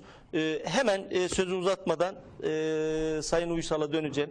Gültekin Beyciğim, kurucu genel başkanınız e, merhum Menderes'in de ismini o kadar çok kullandılar ki. Hatta bir, bir keresinde beyaz kefenler filan giydirdiler. Menderes'i astınız, öbürünü işte öldürdünüz, yedirmeyiz filan filan dediler. Sürekli bir beyaz kefen giyen de bir kitle var ama o ke- kefeni giyenleri e, PKK ayaklanma bahanesiyle sokaklara indiğinde ortalarda göremedik. İşite e, mücadeleye gittiğince ortalarda göremedik. Bunlar da bunu yani e, çıkardıkları gömleğin yerine mi giyiyorlar yoksa bu üç o günden sonra bunu da mı çıkardılar bilmiyoruz ama sizin de partinizi böyle e, çok fazla dejenere eden, çok kullanan, e, manipüle eden, e, siyasi argüman haline getiren bir yapıdan da bahsediyorum. Tüm bunlarda çözüm sürecinde de çünkü çok kullanıldı e, genel başkanınızın ismi. Ne diyeceksiniz? Tabii temel bir tespiti yapmak lazım. 12 yıllık iktidarları boyunca sadece siyaseten değil ama Türkiye'de topyekün.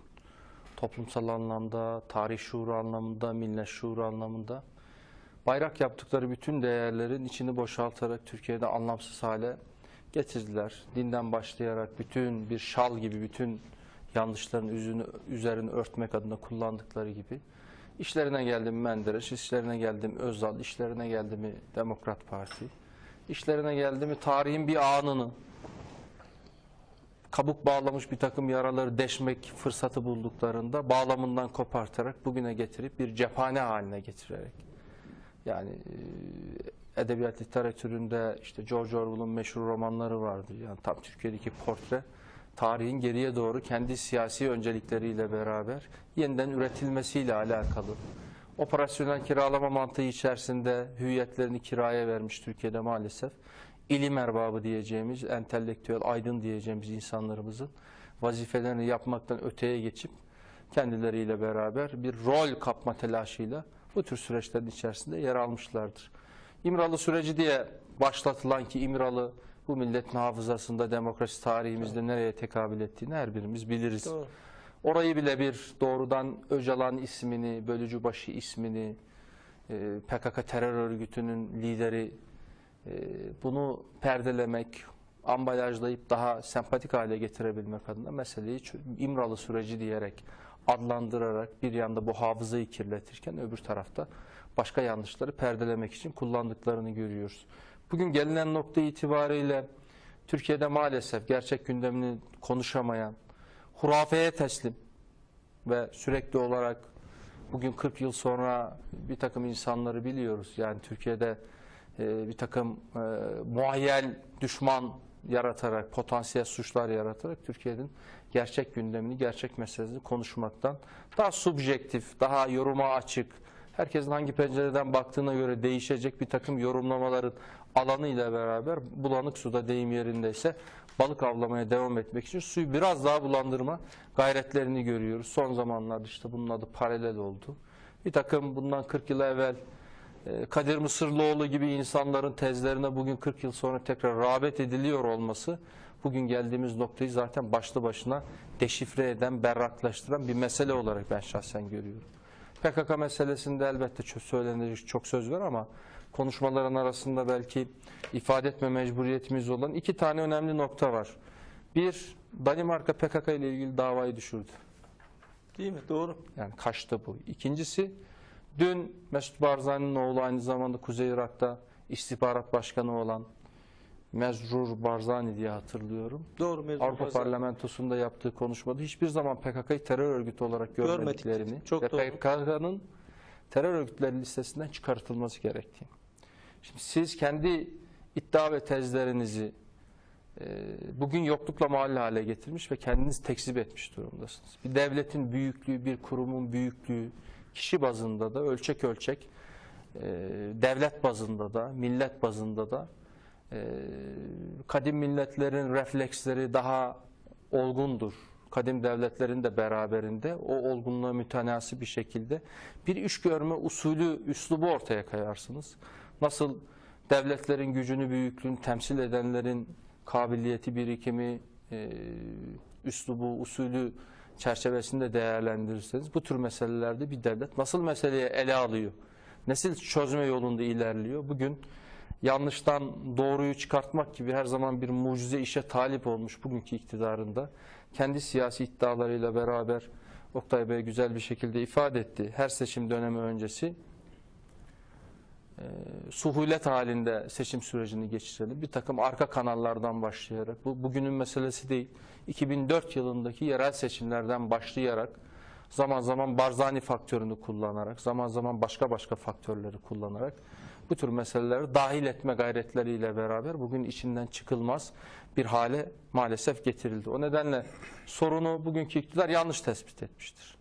Sorunu topyekun Türkiye'nin demokratikleşmesi perspektifinde ele almadığınız müddetçe bugün netice itibariyle meşrulaştırma, toplumsallaşma, etnik bölücü hareketlerin kimyasını, nihai programını bilmeden attığınız adımların hiçbir şekilde telafi edemeyeceğiniz bir başka süreci, başka başka süreçleri sayısını birden fazla artırabileceğimiz tetiklediğini görürsünüz. Bugün son olarak Afyon'da milletvekilleri ve parti yöneticileriyle yaptıkları kampta bu eleştirileri artık dışarı taşar hale Doğru. gelmiştir. Süreci yönetenler de İçişleri Bakanı da maalesef e, ne kamuoyunun önünde ne kamuoyunun perdenin arkasında meseleleri vukufiyetle ele alıp bunlara kamuoyu önünde diplomatik bir lisan da dahil olmak üzere uygun bir lisanı yanlış olmasına rağmen kullanamadıklarını görüyoruz. Üzülerek bir başka O teşhis kamptan yapayım. aslında çok güzel bir yer bir şey söylediniz. Oradan da belki bir not dipnot vermek gerekirse Başbakan yardımcısı, Başbakanın da eski e, baş danışmanı biliyorsunuz. Bu eleştiriler olduğu zaman milletvekillerine dön- dönmüş demiş ki bunları not ediyorum demiş. Yani biraz da örtülü tehdit etmiş. Hani önümüzde seçim Şimdi var. orada zaman zaman Kendi içinde eleştiriye bile farklı, tahammülü yok değil mi? farklı eleştirileri yapan sizler, bizler, Ediyorum dese iyi kaydediyorum. Aynen. sizler, evet. bizler bu ifadeleri değerlendirdiğimizde süreci sabote eden insanlar olarak haklı Gösterin. gerekçelerle e, bu tür meselelerin bilakis önünü açarak e, netice itibariyle bugün muhatabı bu büyük devleti, bu kadim devleti muhatabı yaptığınız bir terör örgütünün siyasi uzantıları da Kandil'dekileri de başka Avrupa'daki temsilcilerinin karşısında maalesef argüman üretemez hale ve üzülerek ifade ediyorum. Son Suriye ve Irak meselesiyle beraber gelişen hadiselerin seyrine baktığınızda Türkiye'nin yanlışları ki bugün onları konuşmuyoruz. Bütün bu problemlerin doğmasının sebebi uluslararası siyasette, uluslararası stratejide dolaylı tutum teorisi olarak bilinen Liddell Hart diye bir kişinin ortaya attığı bu tutum çerçevesi Türkiye'nin silahlı çözümü Suriye'de tercih olarak koymasıyla beraber zaten siz de ifade ettiniz düğmeleri başından itibaren yanlış düğmelemişti. Buradan doğru bir şey çıkartabilme şansınız yok. Onun neticesinde iktidar boşluğu yaratılan Suriye'nin kuzeyinde Şam'ın sokaklarını iyi bildiğini iddia eden bugünkü başbakanımız ki bir skandal dış politikanın sahibidir. Maalesef bugün başbakanlık koltuğunda oturuyor. Bunun hesabını vermesi gerekirken iktidarın topyekün yolsuzluk yapanıyla, yanlış yapanıyla de, surda gedik açtırtma mantığı içerisinde yanlış yapanları demokratik bir tavır içerisinde sorgulatmaktan daha ziyade başka başka yolları tercih ettiğini görüyoruz. Ve bugün gelinen nokta itibariyle bunlar artık üstü örtülemez hale geldiği için geçmişte e, bunları beyan edemeyenler, bölge milletvekilleri de dahil olmak üzere bu işin bayraktarlığını yapmış Adıyaman Milletvekili Mehmet Metiner de dahil olmak üzere ki geçmişte de ifadesi vardı. Aynı sözü bu toplantıda da söylediği rivayet ediliyor. Maalesef oralarda seyahat özgürlüğümüz yok diyen iktidarın mensubu bir milletvekili bugün de Doğru. Bunları kayda geçirmek babında. Bir takım rivayetler var. Artık bu meselede Türkiye'nin topyekün Suriye politikasından başlayarak topyekün kendisini yeniden gözden geçirerek yanlışsa yanlış ve buradan bu yanlıştan dönebilmek adına aksi takdirde bir yanlışı beş yanlış yaparak bir hatayı beş hata yaparak kapatma cihetine gidersiniz ki bu giderilen yolun yol olmadığını zaten ortaya koyarsınız. Perdin Bulvan'ın açıklamaları bence önemli. Zaten Türkiye'de çözüm süreci olarak tırnak içerisinde ifade edilen sürecin e, fiili pratikteki karşılığı kısa vadeli stratejik öncelik ve zamanlama dahilinde PKK'nın bir sükunet halini müzakere etti. Buradan özellikle işte bugün aynen Arap olarak bilinen işte Suriye'nin kuzey, kuzeyindeki diğer bölgelerle beraber orada gelişmeler kendisini bu stratejik tercihe hem dağ kadrosunu hem şehir kadrosunu bugün bir başka tehlikeyle karşı karşıyayız ve sokaklarda görüyoruz. Aslında 7-8 Ekim olaylarıyla beraber burada netice itibariyle Peşmerge'nin geçişine kanal açmış, koridor açmış Türkiye e, hukukta bir tabir vardır. Tehdidi ikaya muktedir olmak diye. Bugün bu tehdidin icraya muktedir bir terör örgütünün sokakları ateşe vermesiyle beraber bugünkü iktidar ödün vermiştir zaten. Başlı başına vermiştir. Yani bu tür meseleden bile bakmış olsak ki artık sürdürülebilir, bir takım problemleri yönetilebilir sınırlar dahilinde tutabilme imkanınızın kalmadığını görürsünüz.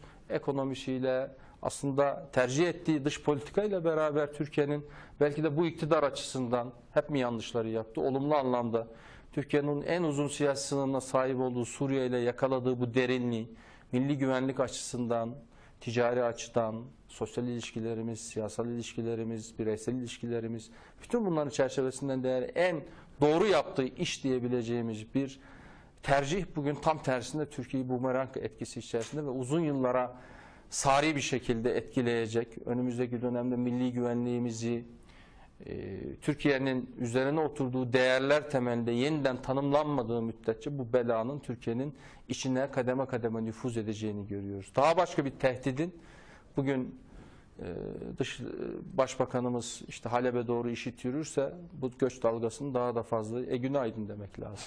Yani, Yani e, bunları bunları attığınız adımların hangi neticeyi doğuracağını bilmezseniz netice itibariyle sadece tanı ve teşhis noktasında ifadelerde bulunmak mecburiyetinde kalırsınız diye ifade edebilirim. anladım. Yani özeti diyorsunuz ki Öcalan'ı sayınlayanlarla bu milleti mayınlayanlar kol kola girdiler gidiyorlar. Şimdi tabii bu süreçte Oktay Bey aslında son turumuz bu da yani üçüncü turumuz. Onar dakika süremiz var. Onun için hani e, gündemde e, konuyu birbirine bağlamak istediğiniz şeyler de birbirine bağlayarak e, toparlayabiliriz. Şimdi MGK toplantısı çok önemli.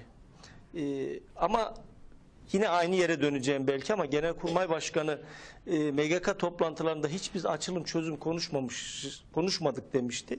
Ben de merak etmiştim yani memleketin tapu kadar su işlerini mi konuşuyorlar e, MGK'da diye.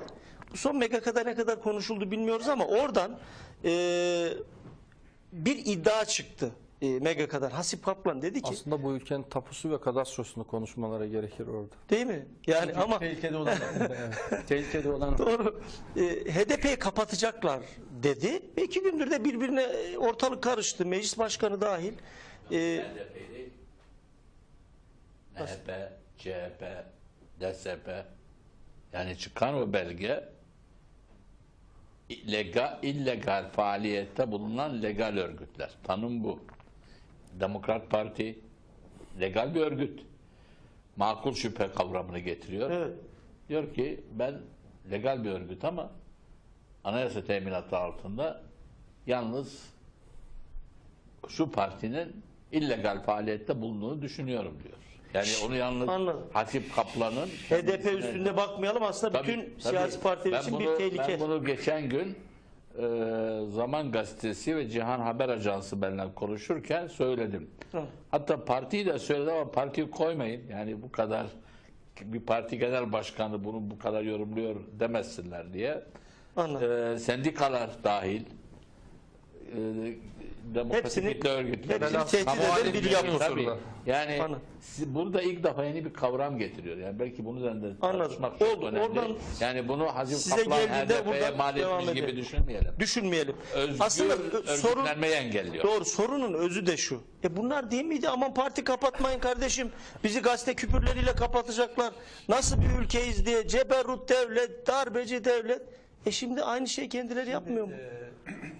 HDP'yi demokratik düzen içerisinde demokrasinin kurallarını kullanarak kurulmuş parti olarak değerlendirdiğim vakit e, DSP'ye de yazık, MHP'ye de yazık, CHP'ye de yazık.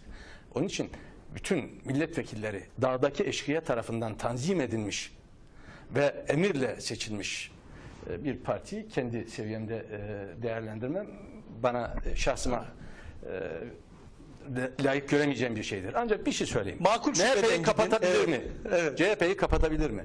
Sayın Demirel'in bir fıkrası vardı. İzniniz olursa onu arz edeyim. Buyurun.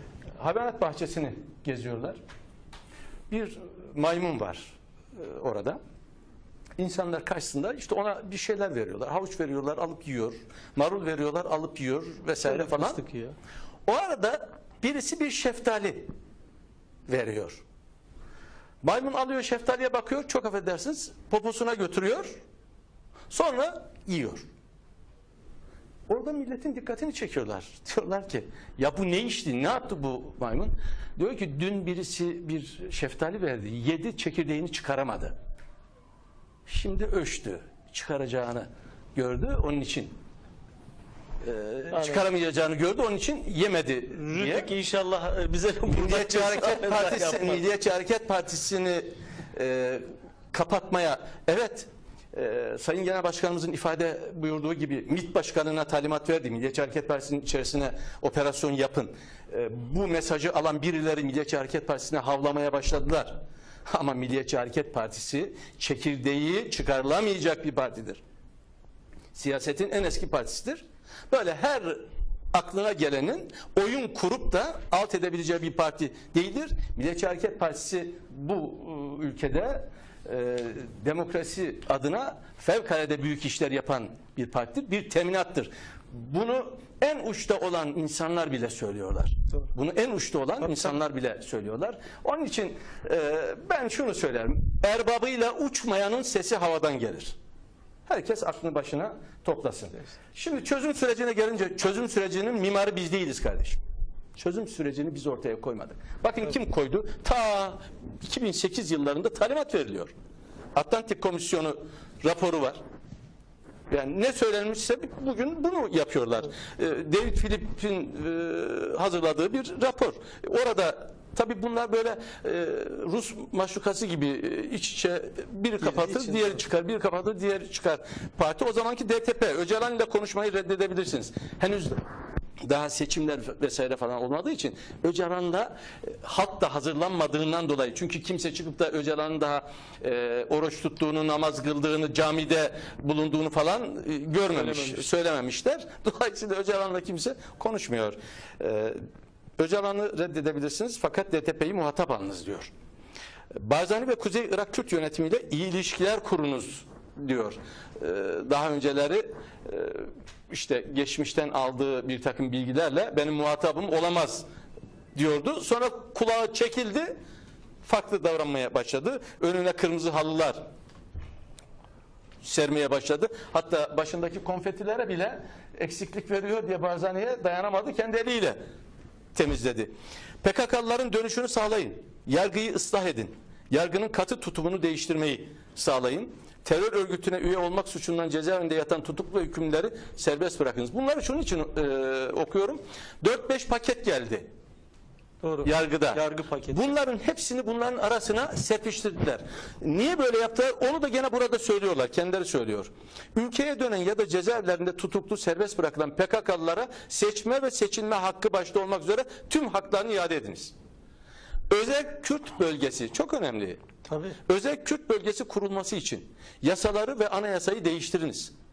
Bölünme havası vermemek için bunu yerinden yönetim, yerel yönetimlerin güçlenmesi adı altında yapınız. Kaç yılında söylemiş bir daha tekrar- 2008. Değil mi? Şimdi dahası var. Türk Ceza Kanunu'ndaki bir takım e, maddelerin değiştirmesini, onlara ceza veren maddelerin değiştirmesini falan filan talep ediyor.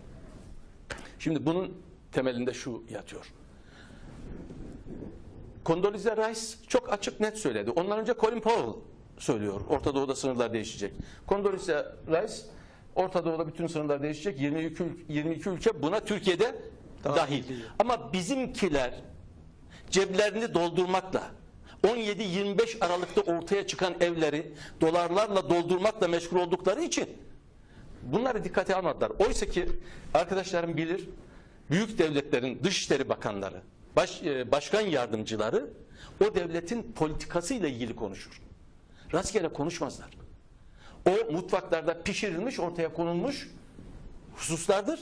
Onu ifade ettiği vakit artık zamana oynuyorlar demektir. Ha bölgede başladılar. Her ülkenin natıkası neyi götürüyorsa ona göre bir metot uygulamaya başladılar. İşte bizi de bu şekliyle iktidarda tutmak suretiyle e, istediklerini yaptırıyorlar. Kürt meselesini bölücülük meselesini daha doğrusu dışarı organize ediyor. Çözülmesini istiyor. Nasıl çözülecek? Türk halkının hassasiyetlerini dikkate alıyor. Şimdi kardeşim 780 bin kilometre karelik bu arazinin her zerresi için şehit kanı akıtılmıştır. Ve hepimiz mirasçısıyız. Ey Davutoğlu, ey Erdoğan sen kimsin kardeşim? Biz mirasçıyız. Bize sormadan bu toprakların bir zerresi üzerine nasıl hesap yapıyorsun? Buna ne hakkın var senin? Bol keseden dağıtıyorsun. Hepimiz davacıyız. İş oraya geldiği vakit, el oraya uzandığı vakit parti mi kapatılmış, kapatılmış ne olurmuş? Anya ile Konya'yı o zaman görürler. Kolay değil böyle. Masa başında bulduğumuz bir ülke değil burası. Herkesin e, bu noktada haddini bilmesi lazım. Şimdi diyor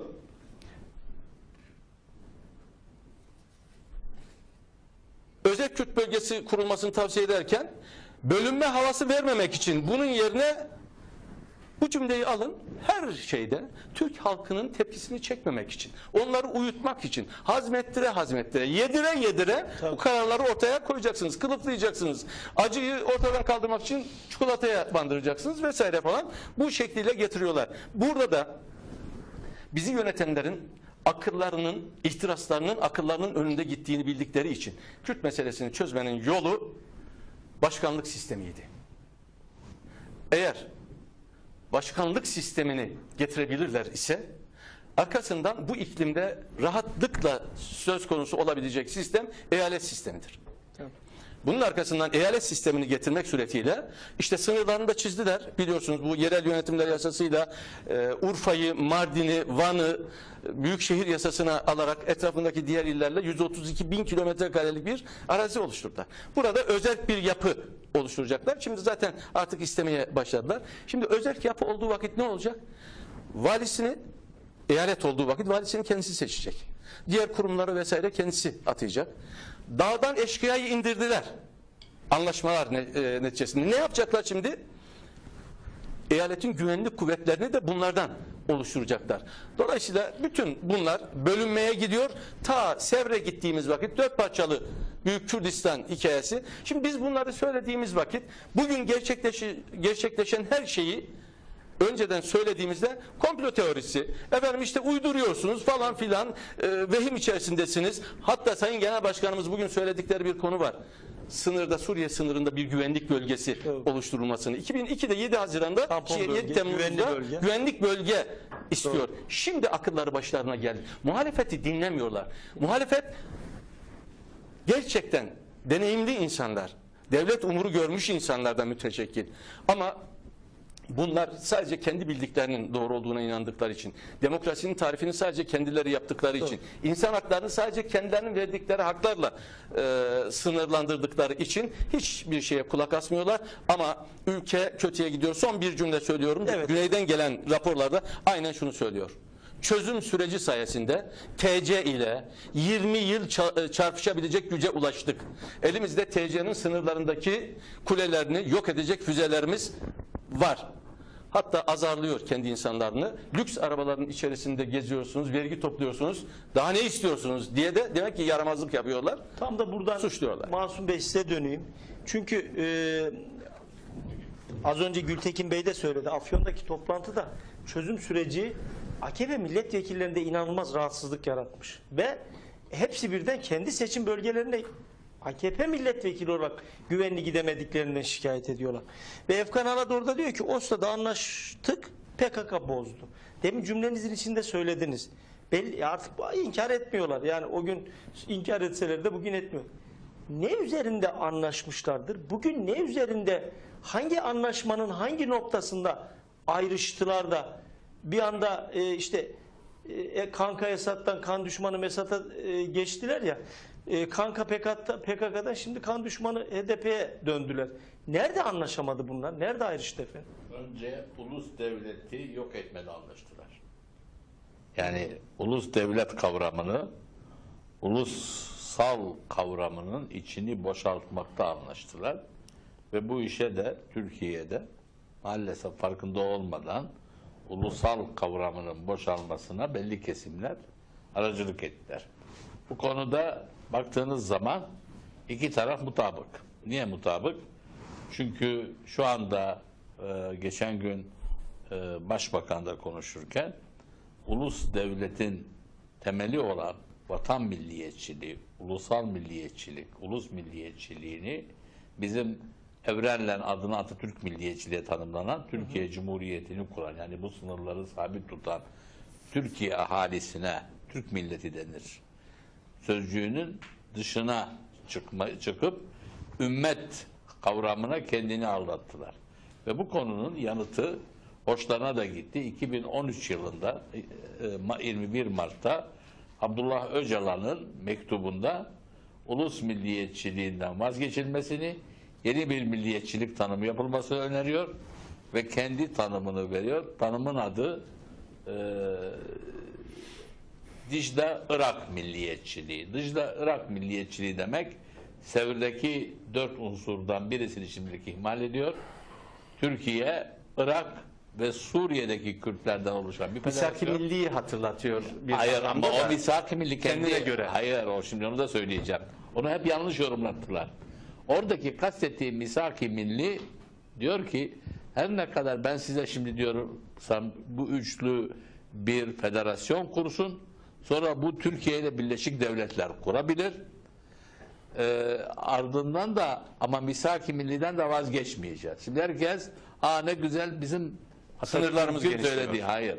Onun bahsettiği misak-ı milli kendi misak-ı millisi ve kendi misak-ı millisi İran'ı da katacağız günü gelince. Ben bunu o gün açıkladım. Ertesi gün İran dışişlerinden e, Büyükelçini aradılar. Siyasi müsteşar geldi. Çok güzel yakalamışsınız bunu.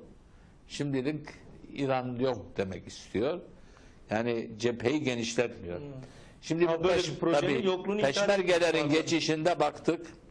Bizim arkadaşlar analiz ettiler.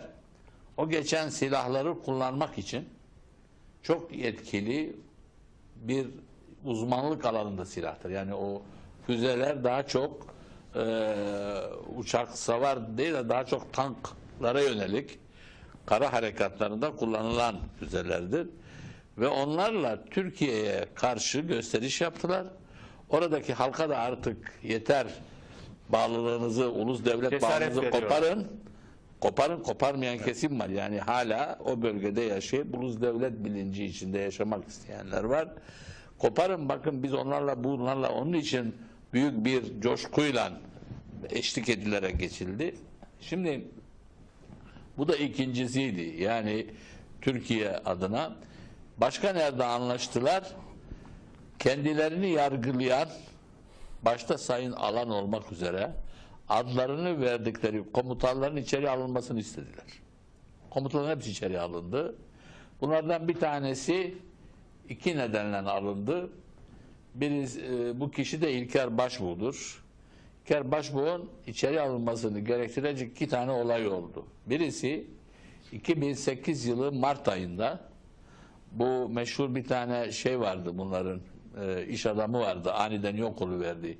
Hani e, sifonu çeker gider diyen neydi adı? Tabii. E. Cüneyt Zapsu. Cüneyt Zapsu. Cüneyt Zapsu. Cüneyt Zapsu Merkel'e ve ekibine daha doğrusu söz veriyor. Ee, Hollanda askerini çekmek istiyor. Merkel ben hallederim Türkiye ile diye söz veriyor. Ve e, Hollanda, Danimarka oradaki askerlerini çekecekler bu e, ülkeleri. e, ben hallederim diyor. Bu hallederim deyişi anında bu arada iki tane yerinde ticari konuşması var. E, ya Antalya ya Muğla, Milas yani ikisinden birisi şimdi geçmiş zaman e, bakarsak o konuşmalarım da var o günde. E, havaalanının e, kiralanma işi içindeki şeyin ve Frankfurt havaalanının pazarlıkları da yapılıyor. E, bu konu NATO'ya geliyor. NATO'da Türkiye'yi temsil eden grup adına Vahit Erdem böyle bir şey olmaz diyor. Biz savaşan asker göndermeyiz diyor. Bu deyince zaten Zapsu ben hallederim diyor. Ee, ve Vahit Erdem bazı arkadaşlarının Tabii. e, 2011'de seçilmemesinin nedeni de budur. İmzacı 10 milletvekili. e, o Doğru. NATO'da Tabii, hayır tabii. demeleridir. Ee, bunu söyleyince e, şey e, bu arada şöyle anlaşma yapılıyor. Ee, o, bu işi e, meşhur e, Genelkurmay Başkanı var. Kodum mu diye hani bir vurdu mu korsun. Vurdum diye. Tabii o evet diyor. Ama o zamanın Kara Kuvvetleri Komutanı Başbu Genelkurmay Başkanı'na söylemeden Kandil'e doğru gidecek askeri gece o kışın geri çekiyor. Çünkü onlar şöyle diyeceklerdi. Size Kandil'e kadar koordinat verdik, yürüdünüz. Onun yerine de 5000 savaşan asker gönderin Afganistan'a. Hala Türkiye'nin orada neden savaşan asker istiyorlar? Türklerin, Türk askerinin e, Müslümanlarla savaşan bir yapıda olduğunu göstermek istiyorlar. O bir projedir. Onu engelleyen İlker Başbuğ. Bunun için dış güçler İlker Başbuğ'a ondan dolayı tavırdı. Fakat asıl e, Abdullah Öcalan'ın özel siparişle İlker Başbuğ'u da alın bakalım içeri deyip ertesi gün alınmasının yani o görüşmenin ardında nedeni şudur. Ben bunu söylüyorum. Kimse anlamıyor. Aslında herkes alsın o kitabı okusun. İlker Başbuğ'un terörün önlenmesi kitabında PKK'nın illegal bir parti olarak işleyişini ve alınan kararları yazıyor. Tüzüğünü yazıyor. Şimdi ben böyle PKK illegal bir parti derken herkes nasıl diyorsun demiyorum. Çünkü partinin tüzüğünde programında olandan vazgeçemez. Oradaki maddeyi deşifre ediyor.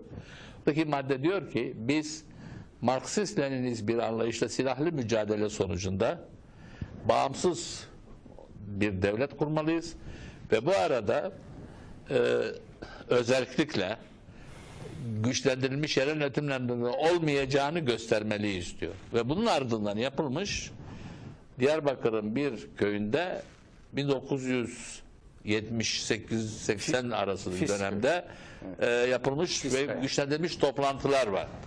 Onu deşifre edip nasıl çözüleceğin analizini yaptığı için cezalandırılması gerekirdi ve o kitabın yayınlanmasından 2-3 ay sonra Sayın İlker Başbuğ hiçbir yokken benim genel kurmayım derken Cumhurbaşkanı bu işin artık öyle bir noktaya gidiyor ki bu ya işte çıkamıyorsun. Hani nasıl birisi eroine, afyona alışır da bir türlü kurtulamaz gibi. Bu da onun gibi bir şey. Bu da yapsın, bu da yapsın. Biz bu filmi parlamentodayken yaşadık. Şu kanunda çıksın Avrupa Birliği için, şu kanunda çıksın. Amaç kanunları incelemeni engellemekti. Şimdi bunu AKP nasıl yapıyor? Kanun tasarısının de şeklinde değil, teklif şeklinde önertiyor ki paydaşlar bu işi görmesin. Şimdi bu olayda bu gördüğünüz hani e, balyoz adı altında Ergenekon adı altında yapılan bütün tutuklamaların vesaire amacı budur. Şimdi bu tutuklamaları için kullanılan e, dinleme yapan kesimler var, kadrolar var. Tayyip Erdoğan kendisi nasıl sıyıracak o işten? Çünkü iş çıkmaza sıktı. Kumpas. Hemen bir tane paralel devlet yarattı. Paralel devletin kendi sen kendin paralelsin bir kere. Kendi şu anda paralel devlet alıp hükümete baksınlar.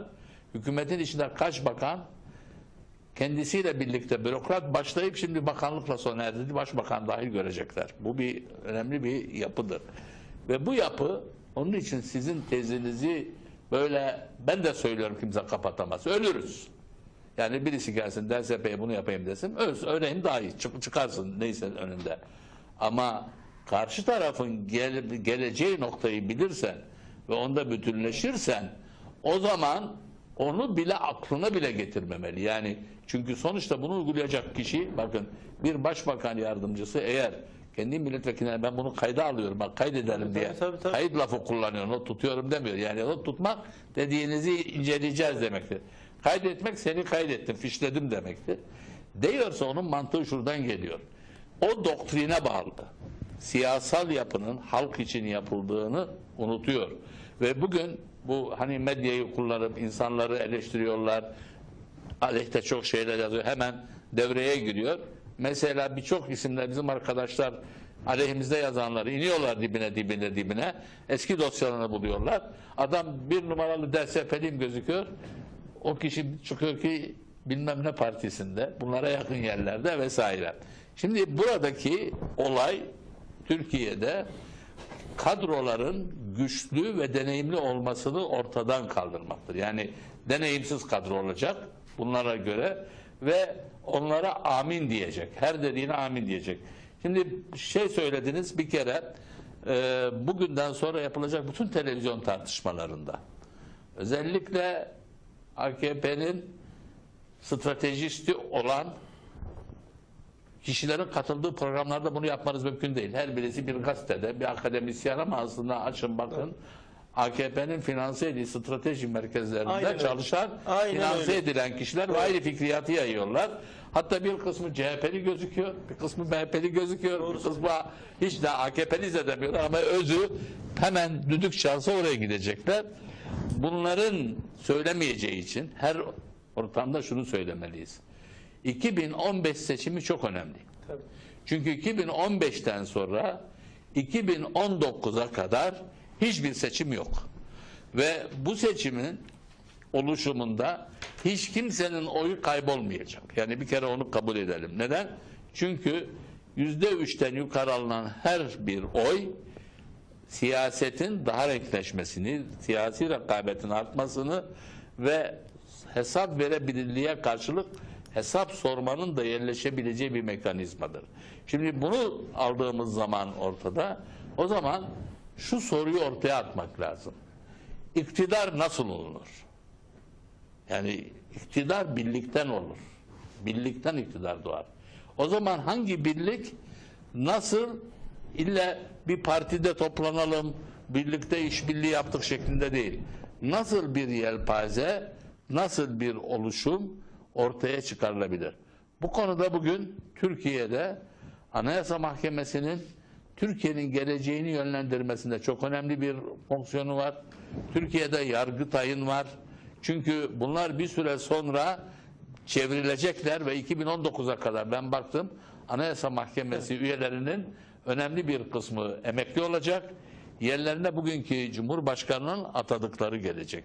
Şimdi bunu dikkate aldığımız zaman karşımıza iki tane önemli bir şey ortaya çıkıyor. Toplayalım efendim. Özgürlük ve güvenliği nasıl dengeli tutmalıyız? Türkiye'de mesela ben bir projem var burada söyleyemedim ama burada söyleyeyim. Ee, AKP'nin dışındaki partiler, Milliyetçi Hareket Partisi, CHP, Demokrat Parti, Demokratik Sol Parti, Büyük Birlik Partisi, Saadet Partisi.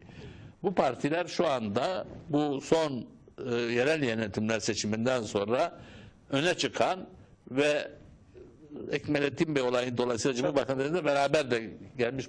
Bu partiler tıpkı Amerika'da geçen sene yapıldığı gibi büyük bir toplantı yapmalı. Ve bu toplantının konusu güvenlik ve özgürlük. Ve bu toplantıda ne yapılacak? Böyle şey değil. Herkes gelecek. Gültekin Başkan gelecek, yapacak konuşmasını, gözü gidecek. Gültekin Bey'in partisinden bir belediye başkanı da gelip konuşacak. Bunu ben Amerika'da geçen sene izledim ve şu anda bakın yavaş yavaş bizim Türkiye'de de konuşulmaya başladı. Güvenlik ve özgürlük nasıl bir arada? Yani ben akşamlar oturuyordum televizyonda bu kısmı özellikle izliyordum. Bunu yaptıktan sonra ikinci bir tanımda birlikte bu AKP'ye karşı birlik dediğim odur.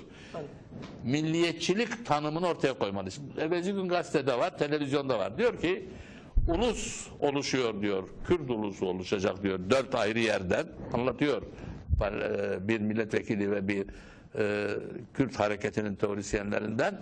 Ama Türkiye'deki ulusalcılık ya da ulus milliyetçiliği ortadan kalksın diyor. O zaman birlikte bu Son milliyetçilik tanımını çok iyi bir şekilde birlikte konuşarak, teknik olarak tanımlayıp hani diyorlar ya efendim işte Atatürk döneminde kafatası ölçülmüş. Atatürk döneminde bu işe tevessül edenler içeri girmiş. Tabii, yani öyle. yani ama Orada da bir çarpıtma var. Tabii Aynen. iftira atmak kolay. İsmet Paşa'ya iftira atmak kolay. Şimdi bizim Atatürk'ün döneminde hiçbir zaman ya da ondan sonraki İsmet Paşa döneminde, ondan sonraki dönemlerde sınırlarımızla bu kadar kavgalı olmamışız. Üç büyük ülkede, üç önemli stratejik ülkede, İsrail'de, Mısır'da ve Suriye'de bizim diplomatımız yok. Zaten olamaz çünkü diplomatlara bizim Cumhurbaşkanımız Monşer Stratejiklerine de görülmüş. burada Çok da bir şey daha söyleyeyim. O kadar profesör var e, AKP'de. Bu profesörler itiraz etmeliydi. Çünkü ne, ne oldu, ne söyledi Tayyip Erdoğan. Bu profesörler ne oluyor dedi Ekmelettin Bey eleştirirken. Ben baktım bu profesörler nasıl bunu hazmediyor. Onu da anlamıyorum. Çok teşekkür Benim ederim söyleyeceklerim efendim. Sağ olun. Gültekin Bey çok uzatmayacağım. Dün e, Sayın Bahçeli de grup toplantısında da söyledi. Şantaj altındaysanız açıklayın dedi. Yani ne, neden korkuyorsunuz? Niye bu kadar bir PKK'dan çekiniyorsunuz? Adamlar çünkü hiç e, PKK'nın tarihinde olmadığımız kadar kazanımlar elde ettik ve belli bir noktaya geldik diye. Ne diyorsunuz? Yani buradan baktığınızda iç politika, dış politika, AKP'nin e, durumu gerçekten hani bizlerin konuştuğu gibi içler acısı mı ülkenin durumu gibi E, yoksa e, bunlara bakarsan her şey toz pembe Ya, muhalefet abartıyor biraz. Öyle bir fotoğraf mı? Yani derinlemesine bakmak lazım, analitik değerlendirmelerde bulunmak lazım. Tabii vatandaşı iki tarafından mengenenin sıkması gibi sıkıyoruz. Bir yanda inanç sistemlerinden başlayarak, Anadolu'nun bir kadim geleneği olarak bulunan cemaatlerimiz, tarikatlarımız da dahil olmak üzere iktidarın bu rant mekanizması içerisine dahil edilerek suç ortak edildi. İnsanları kirleterek suç ortağı, en makbul ortaklığın, suç ortaklığın bilinci içerisinde bu noktaya Bravo. getirdi. Diğer tarafta bireysel vatandaştan, işçiden, memurdan, emekliden başlayarak büyük sermayeye kadar riske ortak edildi. Ve kendi varlıklarını kaçınılmaz bir kader haline dönüştürmek gibi bir gayret içerisindeler. Bu zamana kadar da bu planı oynamaya e, oynamaya çalıştılar.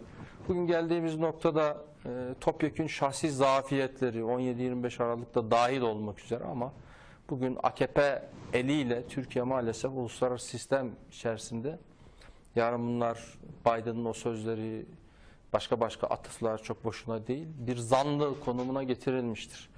Devlet eliyle kara para aklama merkezi haline getirilmiş bir Türkiye, devlet eliyle işte Suriye'nin içerisinde silahlı çözüm adı altında bu ülkenin hangi prensipler, hangi değerler üzerine kurulduğunun bilincinde olmayan ve her eline attıkları mevzuyu bir mucize yaratacak şekilde biz çözeriz mantığı içerisinde. Uyguladıkları politikalar bu bölgeyle ilgili Arap Baharı çerçevesinde bölgeye vaaz ederken bugün maalesef gelinen noktada kendi birliğinizi, kendi beraberliğinizi risk altına almış durumdasınız. E, Veriler ortada, resmi veriler AFAD'ın ortada, Türkiye'ye gelen insanlar ortada. Doğru. Metropollerden küçük şehirlere kadar her noktada vicdanlarımızı sızlatacak bir portreyle Türkiye karşı karşıya. Özellikle sınır hattında bambaşka riskler var. Türkiye'de maalesef bu zamana kadar meşru çizgiler içerisinde İslami referanslı hareketler hep meşru çizgiler içerisinde marjinal birkaç örnek dışında kalmadı. Ama bugün özellikle IŞİD'in bu anlamda bir kapının aralanması ve bu bölgede yaratılmış meşru alan dolayısıyla Türkiye'den ve Türkiye'nin dışındaki Müslüman ülkelerden devşirmelerin sayıları her geçen gün ortaya çıkıyor ve ısrarla kendi bölgesinin dışındaki ülkelerden insan devşirmenin bir gayreti var. Bu- Bunun Türkiye'ye yakın zamanda yansımaları olabileceği ihtimali ben büyük Çok bir risk doğru, olarak doğru şahsen düşünüyorum. Biraz evvel konuşurken Milli Güvenlik Kurulu'nda tapu kadastro mu siz ironi yaparak ifade edin. Keşke bu ülkenin tapu meselesi üzere tapusu münakaşaya açılmak, bu coğrafyadaki varlığı münakaşaya açılmak gayretleri her daim olmuştur. Olmaya da devam edecektir. İktidarın kendi içinde bakanların, milletvekillerinin işte sürüm sürecinin ne olduğunu biz bilmiyoruz. Bari sırrıdan sırrını öğrenelim gibi bir tekerlemeyle beraber böyle bir garip hal, bir garabet hal ortaya çıkmış durumda. Bunun sürdürülebilirliği zaten yok. Ama Türkiye'de özellikle 2007 yılından itibaren ortada bir kazan kaynatıp bunun altına sürekli bir odun atmanız lazımdı. Zaman zaman işte bugün ortaya çıkan veriler ve dünkü bugünkü yargılamalar neticesinde işte balyoz davasında bir takım verilerin tekrar gözden geçirilmesi de dahil olmak üzere sürekli bir odun lazımdı ve Türkiye'de ilk iktidar olduklarında AKP bir şemsiye olarak devletle milletle kavgası olan ne kadar unsur varsa hepsine, hepsinde bir şemsiye, ortak bir üstü örtülü muvazalı bir anlaşmayla beraber kademe kademe dönüştürmek gayretleriyle beraber buraya gelindi. Ama bir şey ısrarla ifade ediyorum. Bugün bu ülkeyi yıkmak isteyenler de, bölmek isteyenler de, binlerce insanımızın kanını akıtanlar da, Irak ve Suriye'de yaşananların aynısını Türkiye'ye baktığında Türkiye'nin kıymetini bilmelilerdir. Bugün geldiğiniz noktada Aysel Tuğlukların Türk Silahlı Kuvvetleri'nin göreve davet ediyor olması bu büyük ülkenin hangi temel Ya. değerler üzerinden, hangi mecralardan çıkarak buraya geldiğini tarih şuuruyla beraber iyi değerlendirme mecburiyeti var ama bugünkü iktidarın beslendiği kaynaklar ortada, devlet telakkileri ortada, devlet ve millet kavramlarını yerli yerine koyamayışın bu ülkeyi cumhuriyeti bir tarihsel sapma olarak değerlendirmelerinin neticesinde aldıkları her karar yüzlerine vurmuştur ve bedelini ödemekle sadece kendilerini değil bu büyük ülkeyi de bir mağduriyet sarmalının içerisinde sürükleyerek pek çok mağduriyeti yaratacak bir zincir halinde sürecin işletildiğini görüyoruz. Buradan dönmek lazım. Peki. Ee, efendim çok çok teşekkür ediyorum. Ağzınıza sağlık. Süremizi de gayet iyi kullandık. Ee, her ben şimdi tabii program bitirirken bir meslektaşımız, gazeteci büyüğümüz, abimiz, e, Anayurt gazetesinin sahibiydi Naci Alan ki Rüzgarlı Sokak'ta Günaydın gazetesinde e, beraber çalışmıştık. Değerli abimizi e, kaybettik. E, hayata gözlerini yumdu, vefat etti. Yarın da cenaze töreni olacak. Mutlaka ona katılacağız. E, Naci Alan Allah'tan rahmet. Bütün gazeteci çalışma arkadaşlarıma, onu tanıyan tanımayan herkese ve ailesine de buradan başsağlığımı, e, dileklerimi iletiyorum. Ya umut ediyorum bir gün bu geçeceğim bu kameranın karşısına. Size çok güzel şeyler anlatacağım. Gerçekten yani bunu bunu ben de çok hayal ediyorum. Veya gittiğim katıldığım tartışma programlarında bu ülkenin güzelliklerini anlatmak. Yani iktidarın yaptığı iyi şeyleri övmek, Türkiye'yi nereye taşıdığını göstermek, anlatmak. Hani bir yerlerden teğet geçiyor derken hep bizi uçurumun kenarına getirip getirip oralardan yani teğet bile geçmiyoruz. Oralarda bekletenlerin yaptıkları yanlışları e, değil de güzel şeyler anlatmak istiyorum ama maalesef işte Türkiye'nin fotoğrafı bu. E, siyasetin üç önemli ismi bugün dilimizin döndüğünce bunları anlattık. Sayın Masum Türkiye çok çok teşekkür ederim efendim. Ağzınıza sağlık. E, merhum Başbakan Sayın e, Ecevit'e de bir kez daha başsağlığı ve Allah'tan e, tekrar rahmet diliyoruz. Gültekin Uysal genç e, bir isim siyasetin e, deneyimli, donanımlı bir ismi. Demokrat Parti'nin Genel Başkanı Gültekin Uysal çok çok teşekkür ediyorum. Milliyetçi Hareket Partisi'nin Genel Başkan Yardımcısı Oktay Öztürk. e, o da yılların siyasetçisi. Parlamentoda da, parlamento dışında da her yerde de siyaset anlatmaya Milliyetçi Hareket Partisi ve ülkücü gücü e, toplumla buluşturmaya e, gayret gösteriyor. Medya Meydanı'nın sonuna geldik. Önümüzdeki hafta yine çok önemli konuklarla Türkiye'nin umut ediyorum güzel şeylerini konuşuruz. Ee, ama görünen köyde kılavuz istemiyor. Bu iktidarla e, çok iyi şeyler yaşayacağımızı da düşünmüyorum. Bir gazeteci olarak bu da benim e, son sözüm olsun. Görüşmek dileğiyle iyi akşamlar efendim.